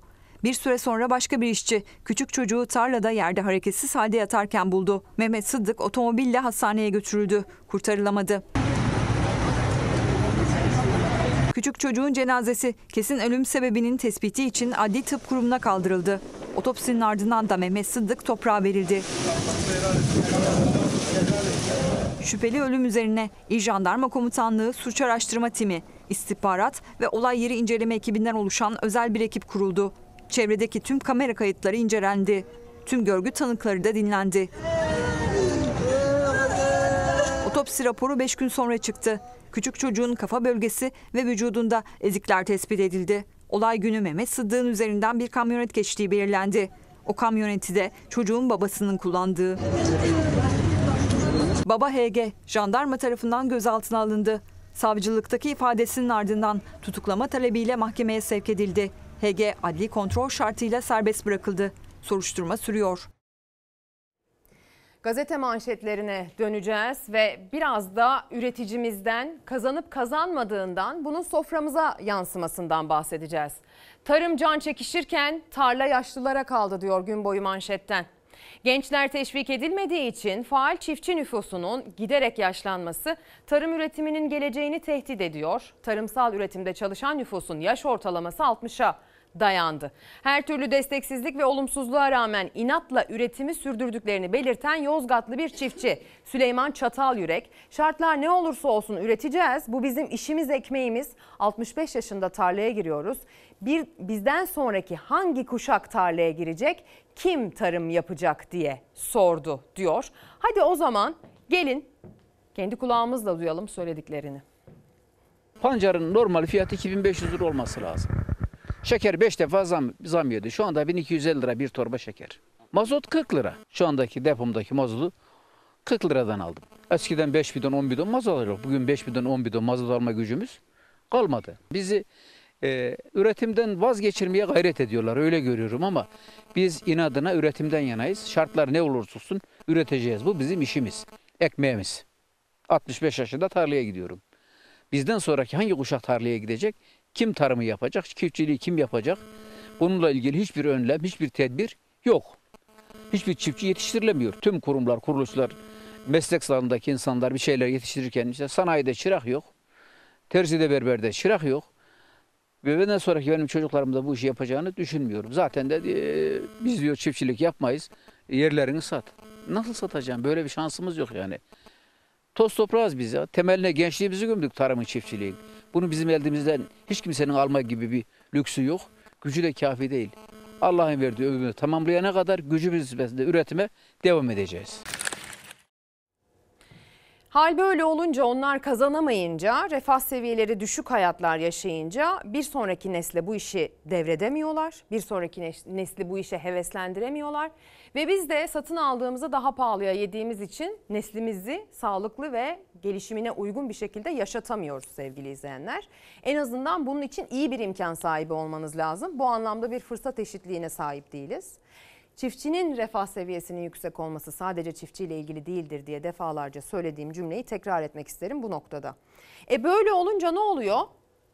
Eğer çok pahalıysa temel gıda ürünleri ulaşamıyorsanız bu sefer işin içine dolandırıcılar girmeye başlıyor. Siz standartınızı korumak için daha ucuzuna yöneliyorsunuz ama örneğin zeytinyağı. Acaba o gerçekten zeytinyağı mı? Yeni sezona bir sürü sorularla, sorunlarla başlıyoruz. %30 zeytin var, %70'i yok. Böyle bir e, sezona giriyoruz. Geçen sene güzel üretimler yapıldı, çok güzel zeytinyağlar sıkıldı ve bu seneye gelindi. Bu sene geçen sene 4 e, kilo, 5 kilogram, daha 3 kilogramlarda 1 kilogram zeytinyağı alınırken Bu sene 6 kilogram civarlarında görülüyor durum. E, Bu da tabii e, zeytinyağının maliyetine yansıyor. E, Ve işçi maliyetleri bu sene elektrik işçi maliyetleri çok arttı. Yeni üretilecek zeytinyağı fiyatını yukarıya çıkartıyor. Bakıyoruz işte piyasada işte 100 liraya 70 liraya e, litresi yağlardan bahsediliyor ki mümkün değil işçi maliyetleri, elektrik maliyetleri ve e, zeytinin olmayışından dolayı e, bunu kurtarması mümkün değil. Mazot fiyatları aldı başını gitti. Onlar da çok yükseldi. E, gübre aynı şekilde çiftçinin gübresi e, girdilerinden bu da çok yükseldi. Maliyetli bir yıl bekleniyor. E, Bu maliyetli yılda zeytinyağını kim nasıl yiyecek? E, o baya bir problem gibi gözüküyor. Çünkü çiftçi kendi üretiminden belki yiyebilir yağını ama dışarıdaki bu insanlar nasıl yer, nasıl olur? Bizim de buna dü- düşünüyoruz yani bir akıl sır erdiremiyoruz. Düşün düşün akıl sır erdiremiyoruz diyor çiftçi sevgili izleyenler. Peki o zaman bir de balık tezgahlarına bakalım. Hani neslimizi yetiştirmekten, gelişimine uygun bir şekilde onların beslenmesine tam anlamıyla fayda sağlamaktan bahsediyoruz ya balık bu anlamda en çok tavsiye edilen. Örneğin Zonguldak ve Mersin'de hamsinin kilosu 70 lira. Kime göre ucuz, kime göre pahalı. Akdeniz'de balık çeşidi de bol. Ee, Akdeniz'de her çeşit balığımız çıkıyor. Barbun, gümüş, istavrit, e, sardalya, çupra, levrek ya her çeşit balığımız var şu an. Tezgahlarda balık bollaştı. Mersin'de fiyatlar en alt seviyeye düştü. Sezonun başında hasreti çekilen Karadeniz hamsisi de tezgahları süslüyor. Zonguldak'ta kilosu 70 liradan satılıyor hamsinin. Hamsi bu sene güzel. Sezon başı hamsi olmasa zaten başka satacak balık yok. Mezgit'te ikisi olmasa. Yani vatandaş da uygun olarak hamsi alıyor. 1 Eylül itibarıyla Karadeniz, Marmara ve Ege'de bütün tekneler, Akdeniz'de ise gırgır tekneleri vira bismillah dedi. 15 Eylül'den itibarense yasak tüm Türkiye'de kalktı.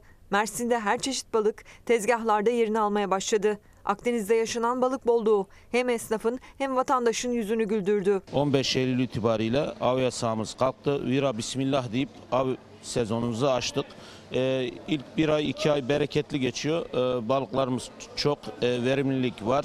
Akdeniz'de balık çeşidi de bol. Hamsiyi 60-70 liraya satıyoruz. Sardalya balığı omega 3 açısından en zengin yiyecek. Akdeniz'in Mersin'in en değerli balığı. Omega 3 açısından en vitaminli balık 60 lira kilosu. E, kefal balığı var 80-90 lira arasında. Gümüş balığı var. Çok lezzetli e, lokum balığı da deniyor ona. Kilosu 70-80 lira arasında. Barbun 80-100 150 boyuna ebatına göre gidiyor. Eylül, Ekim ve Kasım ayları balık av yasağının açık olduğu ilk 3 ay balık bolluğunun çok olduğu aylardır ve fiyatların da en uygun olduğu aylardır. Mersin Balıkçılar Derneği Başkanı Adnan Polat, tezgahların dolmasıyla balığın da ucuzladığını ancak en büyük sıkıntının maliyetlerde yaşandığını söyledi. Balık satışlarımız da gayet iyi. Fiyatlarımız da çok uygun. Denizden balığı tutup getirmek gerçekten zor bir iş. Buna rağmen biz uygun fiyatla bunları veriyoruz. Maliyeti yüksek olmasına rağmen şu an balık bolluğu var. Balık çıkıyor ama buradaki en önemli sıkıntımız e, akaryakıt.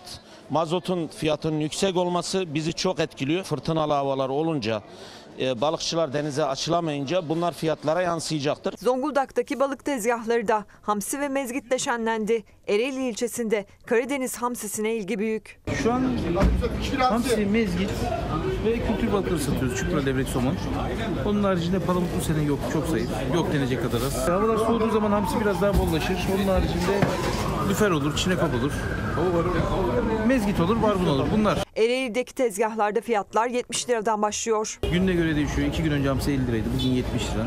Hani yarın gene belki düşer. Orta mezgit 100 lira. İri mezgit 150 lira. Fiyatlar bu şekilde. Barbunlar 100-150 arası değişiyor. Diyelim ki aldık balığı. Alabildik, sofraya koyduk. Alabildiğimiz kadar, yiyebildiğimiz kadar yiyeceğiz. Kimisi limonlu sever, kimisi limonsuz. Peki yanına limonu alabiliyor muyuz? Diyelim ki biz alabildik, limonu üreten ondan kazanabiliyor mu? Bunu bir vekil mecliste kürsüye bakın nasıl taşıdı. Cebimde de 1 lira var. 1 liracık var. 1 liracık. Bu gördüğünüz poşet tam 1 kilo. 8 tane limon var. Adana'da Mersin'de maalesef bahçede 1 liracığa 1 kilo limon var. 8 tane limonu 1 liracığa alıyorsunuz. Çiftçimize maalesef ümünü sıktınız. Ümünü sıktınız. Ben de buradan limonu sıkıyorum. Artık bunu görün. Çiftçimiz nefes alsın diyorum. Çiftçimiz nefes alsın. Gelin bir kere de şu ülkenin efendisine sahip çıkın. Gider yüzünüz gülsün köye giderken ki çiftçinin yüzü gülsün. Ondan dolayı diyorum ki artık yol yakınken kafanızı kumdan çıkarın. Bir defa da olsa çiftçimizin sorunlarını hep beraber araştıralım. Çiftçinin sorunlarını hep beraber araştıralım. Şimdi çiftçinin bir sorunu için sizi Zonguldak Devrek ilçesine bağlı Gerze köyüne götüreceğim. Ee, bir böcek baskını var ama böyle hani böcek deyince e, korkusu tetiklenenler çok korkmasınlar. Bunlar uğur böcekleri çünkü. Şuna bak ne olur Yapışkanlı. Böcekler basmış. Ağaçları, duvarları, evlerin içine, köyün her noktasını uğur böcekleri sardı. Uğur böceği istilası köylüleri endişelendirdi. 3-4 günden beri e, evlerin duvarlarında görüyoruz yani. Zonguldak'ın Devrek ilçesine bağlı Gerze köyü gündüz havanın ısınmasıyla uğur böceği istilasına uğruyor 4-5 gündür. Sadece Gerze değil daha birçok köyden de aynı şikayetler geliyor. Birçok köyden bu şekilde şikayetler gelmeye başladı. Geldi mi? Geldi. Ama buna, buna çözüm bul, bulunsun da mi? Sokakları, ağaçları saran uğur böcekleri kapıların, pencerelerin içinden geçip evlere de giriyor. Köylüler kaçacak yerde bulamıyor. 50 tane 100 tane belki daha var. Bilmiyorum. Köy sakinleri başa çıkmakta zorlandıkları uğur böcekleri için yetkililerden çözüm bekliyor. Öyle bir varsa çok olur. Her gün gidiyorlar mı? Her gün. Yok bugün gel bak. Bugün gel bak bak bak. Bak bana bak bak. Tabii ki biyolojik bir açıklaması ve tarımsal bir faturası var muhakkak. Ama yine de nispeten sevimli bir böcek baskını demeden geçemeyeceğim. Şimdi ise iki çocuk ve iki torun sahibi Mükerrem Çalık hanımefendinin hikayesine götüreceğim sizi. Kendisi 60 yaşında birkaç sene sonra mezun olduktan sonra bize meslektaş çıkacak. Biz şuradan geçeriz. Buraya geldim. Benden 40 yaş küçük ama arkadaş derecesinde yakın oldum. Kişilerle aynı kurvarda yürümek hoşuma gidiyor. Ev hanımlığı da bir yere kadar dedi. Pandemi döneminde evde oturmaktan sıkılınca üniversite okumaya karar verdi. Girdiği sınavları da kazandı. Mükerrem Çalık şimdi 60 yaşında çift anadalla üniversite okuyor. 60 yaşındayım. 40 yıllık ev hanımıyım. İki çocuğum, iki torunum var. Pandemi bana ikramiye olarak üniversiteyi verdi. Eşinin tayini nedeniyle Diyarbakır'a yerleşen Mükerrem Çalık pandemi döneminde internet ortamında vakit geçirmeye başladı. İnternette ilgisini en çok çekense ders videolarıydı. Giderek o ilgi üniversite hayaline dönüştü. Hayalse gerçeğe. Mutluyum, çok sevinerek geldim. Çünkü bizim liseyi bitirdiğimiz zaman da ihtilal dönemiydi. Ailem çok cesaret edemedi bize üniversitede okutmaya. Pandemi döneminde internette gördüğüm dershanelerde e, vakit geçiriyordum. Aslında biraz kendimi güncelliyordum. Sonuçta denemek amaçlı sınava girdim. İki çocuk ve iki torun sahibi Mükerrem Çalık pandemide temel yeterlilik ve alan yeterlilik sınavlarına girdi. Dicle Üniversitesi İletişim Fakültesi Halkla İlişkiler bölümünü kazandı. Kendisinden 40 yaş küçük öğrencilerle aynı sıralara geçip üniversiteli oldu. Benim onlara ulaşabilmiş olmam, aynı seviyede bir şeyler yapabilmem beni daha dinamik yapıyor. Bu sene 3. sınıf 5. dönem olarak geçiyor. Ee, bir üniversitenin sağladığı bir program var. Çift Anadal. Çift Anadal'da da hem halklar ilişkiler hem de gazetecilik yapma olanağım oldu. Ona tercih ettim. Kabul edildim. Şimdi ikisini birden okuyorum. 60 yaşındaki Mükerrem Çalık bu yıl üniversite 3. sınıfta ama bir de gazetecilik bölümünü ekledi eğitim hayatına. Yan dal olarak gazetecilik derslerini de alıyor. 50 yaşından sonra hanımların kendilerini bırakmaları değil, kendilerini güncellemelerini tavsiye ederim. Kadın erkek tüm 50 yaş üstüne de tavsiye edilebilir sanki. Fethiye'ye götüreceğim şimdi sizi. Muğla'nın en güzel ilçelerinden biri Fethiye'ye. Fethiye denince benim aklıma kişisel tarihim dolayısıyla yamaç paraşütü geliyor.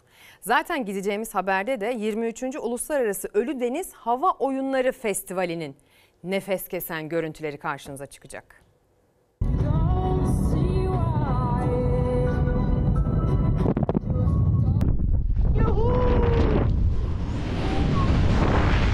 23. Uluslararası Ölüdeniz Hava Oyunları Festivali nefes kesen gösterilerle devam ediyor. 23. Uluslararası Fethiye Ölüdeniz Hava Oyunları Festivali Belcakız sahilinde düzenlenen çeşitli etkinliklerle sürüyor. Fethiye Belediyesi'nin öncülüğünde ve ilgili sivil toplum kuruluşlarının destekleriyle düzenlenen festival yoğun ilgi görüyor. Organizasyona 50 ülkeden yaklaşık 1000 sporcunun yanı sıra dünyanın en iyi hava akrobatları da katılıyor. Yabancı akrobasi pilotlarının gösterileri büyük beğeni topladı. Festival adrenalin ve eğlence tutkunlarını ağırlamaya devam ediyor. Deprem bölgesinden ve depremzedelerden haber vermeye devam edeceğiz sevgili izleyenler. Biliyorsunuz Kahramanmaraş merkezli depremlerde Hatay en büyük hasarı alan adreslerden bir tanesi oldu. Asrın felaketinin ardından birçok insan üzerinden aylar geçmesine rağmen izine rastlanamaz bir şekilde kayboldu. Sırada izleyeceğiniz haberdeki genç kadın sağ çıkarıldığı halde bulunamıyor. Mustafa Kemal Mahallesi Mert Sarıgül sitesinde enkazdan çıkarılan kız kardeşim Merve Ateş 6 Şubat'tan beri hiçbir haber alamıyoruz. Enkazdan sağ çıkarıldı ama o gün bugündür haber yok Merve Ateş'ten. Herhangi bir DNA eşleşmesi de olmadı. Kayıtlara göre hayatta ama ortada yok. Ailesi umutla dönmesini bekliyor. Kız kardeşim sol bacağı yaralı bir şekilde çıkartıldı ama bilinç açık şekilde çıkartıldı. Şu ana kadar bize ulaşmamasının sebebi büyük ihtimalle bilincinin olmadığını düşünüyoruz. Depreme İskenderun ilçesi Mustafa Kemal mahallesinde yakalanan İlknur Karaca'nın anne ve babası enkazda kalarak hayatını kaybetti. Enkazdan 26 yaşındaki kız kardeşi Merve Ateş sağ çıkarıldı. İskenderun acil 112 al, alıyor. Mersin Yenişehir Hastanesi'ne götüreceğiz diyerek ambulansa teslim ediyoruz. Daha sonrasında hiçbir haber alamıyoruz. Benim küçüğüm e, direkt oraya gidiyor. Onlar çıkarıyorlar. Biz burada e, yolların patlaması nedeniyle, kapalı olması nedeniyle gidemiyoruz. E, zaten annem babam siz sağ olun enkazdan çıkıyorlar. Vefat ettiler. Kız kardeşimi e, yaralı olarak çıkartıyoruz. İskenderun e, SSK acile götürüyoruz. İlk müdahalesi yapılıyor. Herhangi bir doktorla görüşmeme rağmen herhangi bir e, ölüm şeyi yok, riski yok. Ameliyat için Mersin Yenişehir Hastanesi'ne götürülüyor. Yanına refakatçi alınmayarak hiçbir şekilde e, kardeşime hastane girişi vesaire hiçbir şekilde kamera kayıtları yok denildi. Hiçbir şekilde telefonla irtibat ya da e, DNA eşleşmesine ulaşamadık. Bacağından yaralı halde enkazdan çıkarılan Ateş'e Hatay'dan Mersin'e sevk edildikten sonra ulaşılamadı. Ne hastane kaydı ne de görüntüsü var. Aile hafıza kaybı yaşıyor olabileceğini düşünüyor ve umutla dönmesini, bir haber gelmesini bekliyor. Lütfen görenler, duyanlar varsa fotoğrafla birlikte paylaşıldığı zaman e, ayakta problem olabilir, kendi kendine konuşuyor olabilir, yanında başkaları tarafından alıkonuluyor olabilir. Bize lütfen ulaşsınlar görenler. Allah kolaylığını versin, Allah sabrını versin. Umarım bulunur. Depremzede olmak büyük bir mağduriyet. Bir de hem depremzede olup hem bir evlat kaybedip hem de bir diğer evladı için SMA mücadelesi veriyor olmak sizin vicdanınıza bırakıyorum. Belli oldu. Bu dolandırıcılık yapan insanlar yüzünden kampanyamız durma noktasına geldi. Şu anda %11'deyiz. Yani hiçbir şekilde ilerlemiyor, ilerleyemiyoruz. Bu dolandırıcılık yapan insanlar yüzünden. Bu bebeklerin ahını almayın. Bu bebeklerin ömründen çalmayın lütfen. Dolandırıcılar yüzünden valilik onaylı kampanyalarda zarar görüyor. Depremde kendisi gibi SMA tip 1 hastası ikizini kaybeden Aybüke bebeğin ailesi de aylardır seslerini duyurmaya çalışıyor. Aybüke bebeğin kampanyası 10 ayda sadece %11'e ulaşabildi. Kampanyaların yavaş gitmesine etkileyen en önemli durumlardan birisi de bu. İnsanlar bu bebeklerin ismini kullanarak anne babalarının sayfalarından, sosyal medya sayfalarından resimden alıp sayfalar kurarak insanları dolandırıyorlar. SMA hastası Aybüke ile ikizi Amine Uyrum 6 Şubat'taki depreme 7 aylıkken Kahramanmaraş'ta hastanede yakalandı. Bebekler yoğun bakımda cihaza bağlıydı. Deprem oldu. Durumu ağır olan Amine bebek cihazın durması sonucu hayatını kaybetti. Uyrum çifti Aybüke'yi alıp dışarı çıktı. Kahramanmaraş'ta e, bir, bir aya yakın yatış sürecinden sonra e, depreme yakalandık. Depremde maalesef bebeğimizin birini SM hastalığından makinelerin durması sebebiyle kaybettik. Diğer bebeğimizi Hatay'a gidip defnettikten sonra önce Antalya'ya sonra da Kayseri'ye gelip kampanyamızı devam ettirmek için buraya yerleştik. Uyrum çifti SMA'lı ikizlerinin gen tedavisini alabilmesi amacıyla Ocak ayında valilik onaylı kampanya başlatmıştı. Bir bebeklerini kaybeden aile hayatta kalan bebekleri için depremin ardından yerleştikleri Kayseri'de mücadele etmeye devam ediyor. Bir evlat acısı yaşadık. Aybüke'nin de acısını yaşamak istemiyoruz. Bizim de evladımız yürüsün, e, bizim de evladımız koşsun, oynasın istiyoruz.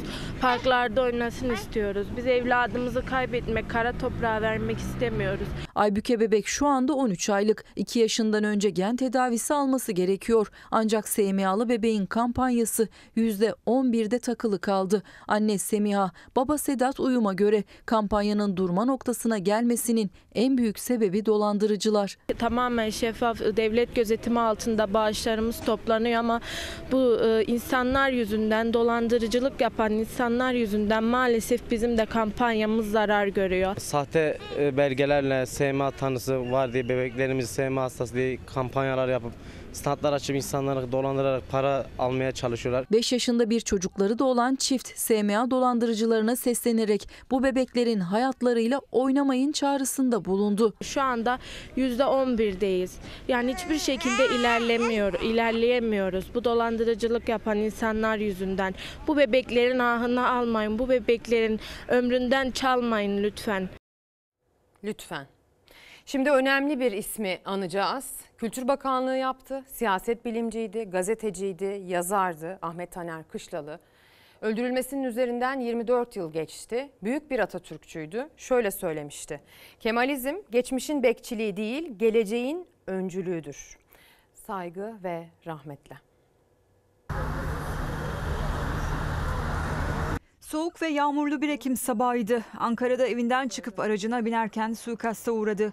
Eski Kültür Bakanı, siyaset bilimci, eğitimci, gazeteci, yazar. Ama en çok da Cumhuriyet değerlerine sıkı sıkıya bağlı Atatürkçü bir aydın. Bombalı saldırıda hayatını kaybeden Ahmet Tener Kışlalı, katledilişinin 24. yılında anıldı. Bu dünyadan bir Ahmet Taner Kışlalı geçti. Layık, demokratik ve aydınlık bir Türkiye mücadelesinin en ön safında yer aldığı için 24 yıl önce bugün hain bir saldırı sonucunda onu yitirdik. Ahmet Taner Kışlalı için Atatürkçü Düşünce Derneği'nce anma töreni düzenlendi. 21 Ekim 1999 yılında saldırının düzenlendiği noktada evinin önünde anıldı Kışlalı. Törene Kışlalı'nın eşi Nilüfer Kışlalı'nın yanı sıra siyasiler, gazeteciler, STK temsilcileri ve vatandaşlar da katıldı. O bir bilim insanı, bir siyasetçi, bir eğitimci, bir gazeteci, bir aydın, bir eş, bir baba sahip olduğu tüm sıfatların hakkını veren örnek bir insandı. Atatürkçü düşüncenin ve cumhuriyet değerlerinin yılmaz savunucusuydu. 1990'lar Atatürkçülere yönelik cinayetlerin de yaşandığı yıllar oldu. Muammer Aksoy hocalarımız, Uğur Mumcular, Çetin Emeç, Turan Dursun, Bahriye Uçok ve diğerleri. Bu cinayetlerde amaç neydi? Bunu düşünmeliyiz. Törenin ardından Ahmet Tener Kışlalı Parkı'na geçildi. Parktaki heykele çelenk bırakıldı. Hoş geldiniz. Nasılsınız? CHP lideri Kemal Kılıçdaroğlu da Kışlalı'nın eşi Nilüfer Kışlalı'yı evinde ziyaret etti. Atatürkçülüğü anlatmıştı tabii ya. Ee, gerçekten de olağanüstü e, yani yazılarıyla da yorumlarıyla da olağanüstü bir insandı. Ahmet vefat ettiğinde ben onu gördüm. Her kesimden e, insanlar Öyle. bizle acımızı paylaştı. Öyle. Büyük bir ustadan yaşayan bir diğer büyük ustaya geçiş yapacağız. Yıkın duvarları ve asıl o duvarları hapse hatın diyecek, özgürlük diyecek. Zülfü Livaneli ustaya selam olsun. Duvarları kuşatında tutuklayın hepsini Duvarları kuşatında tutuklayın hepsini Ne böyle gurbet olsun ne böyle ayrılıklar Ne böyle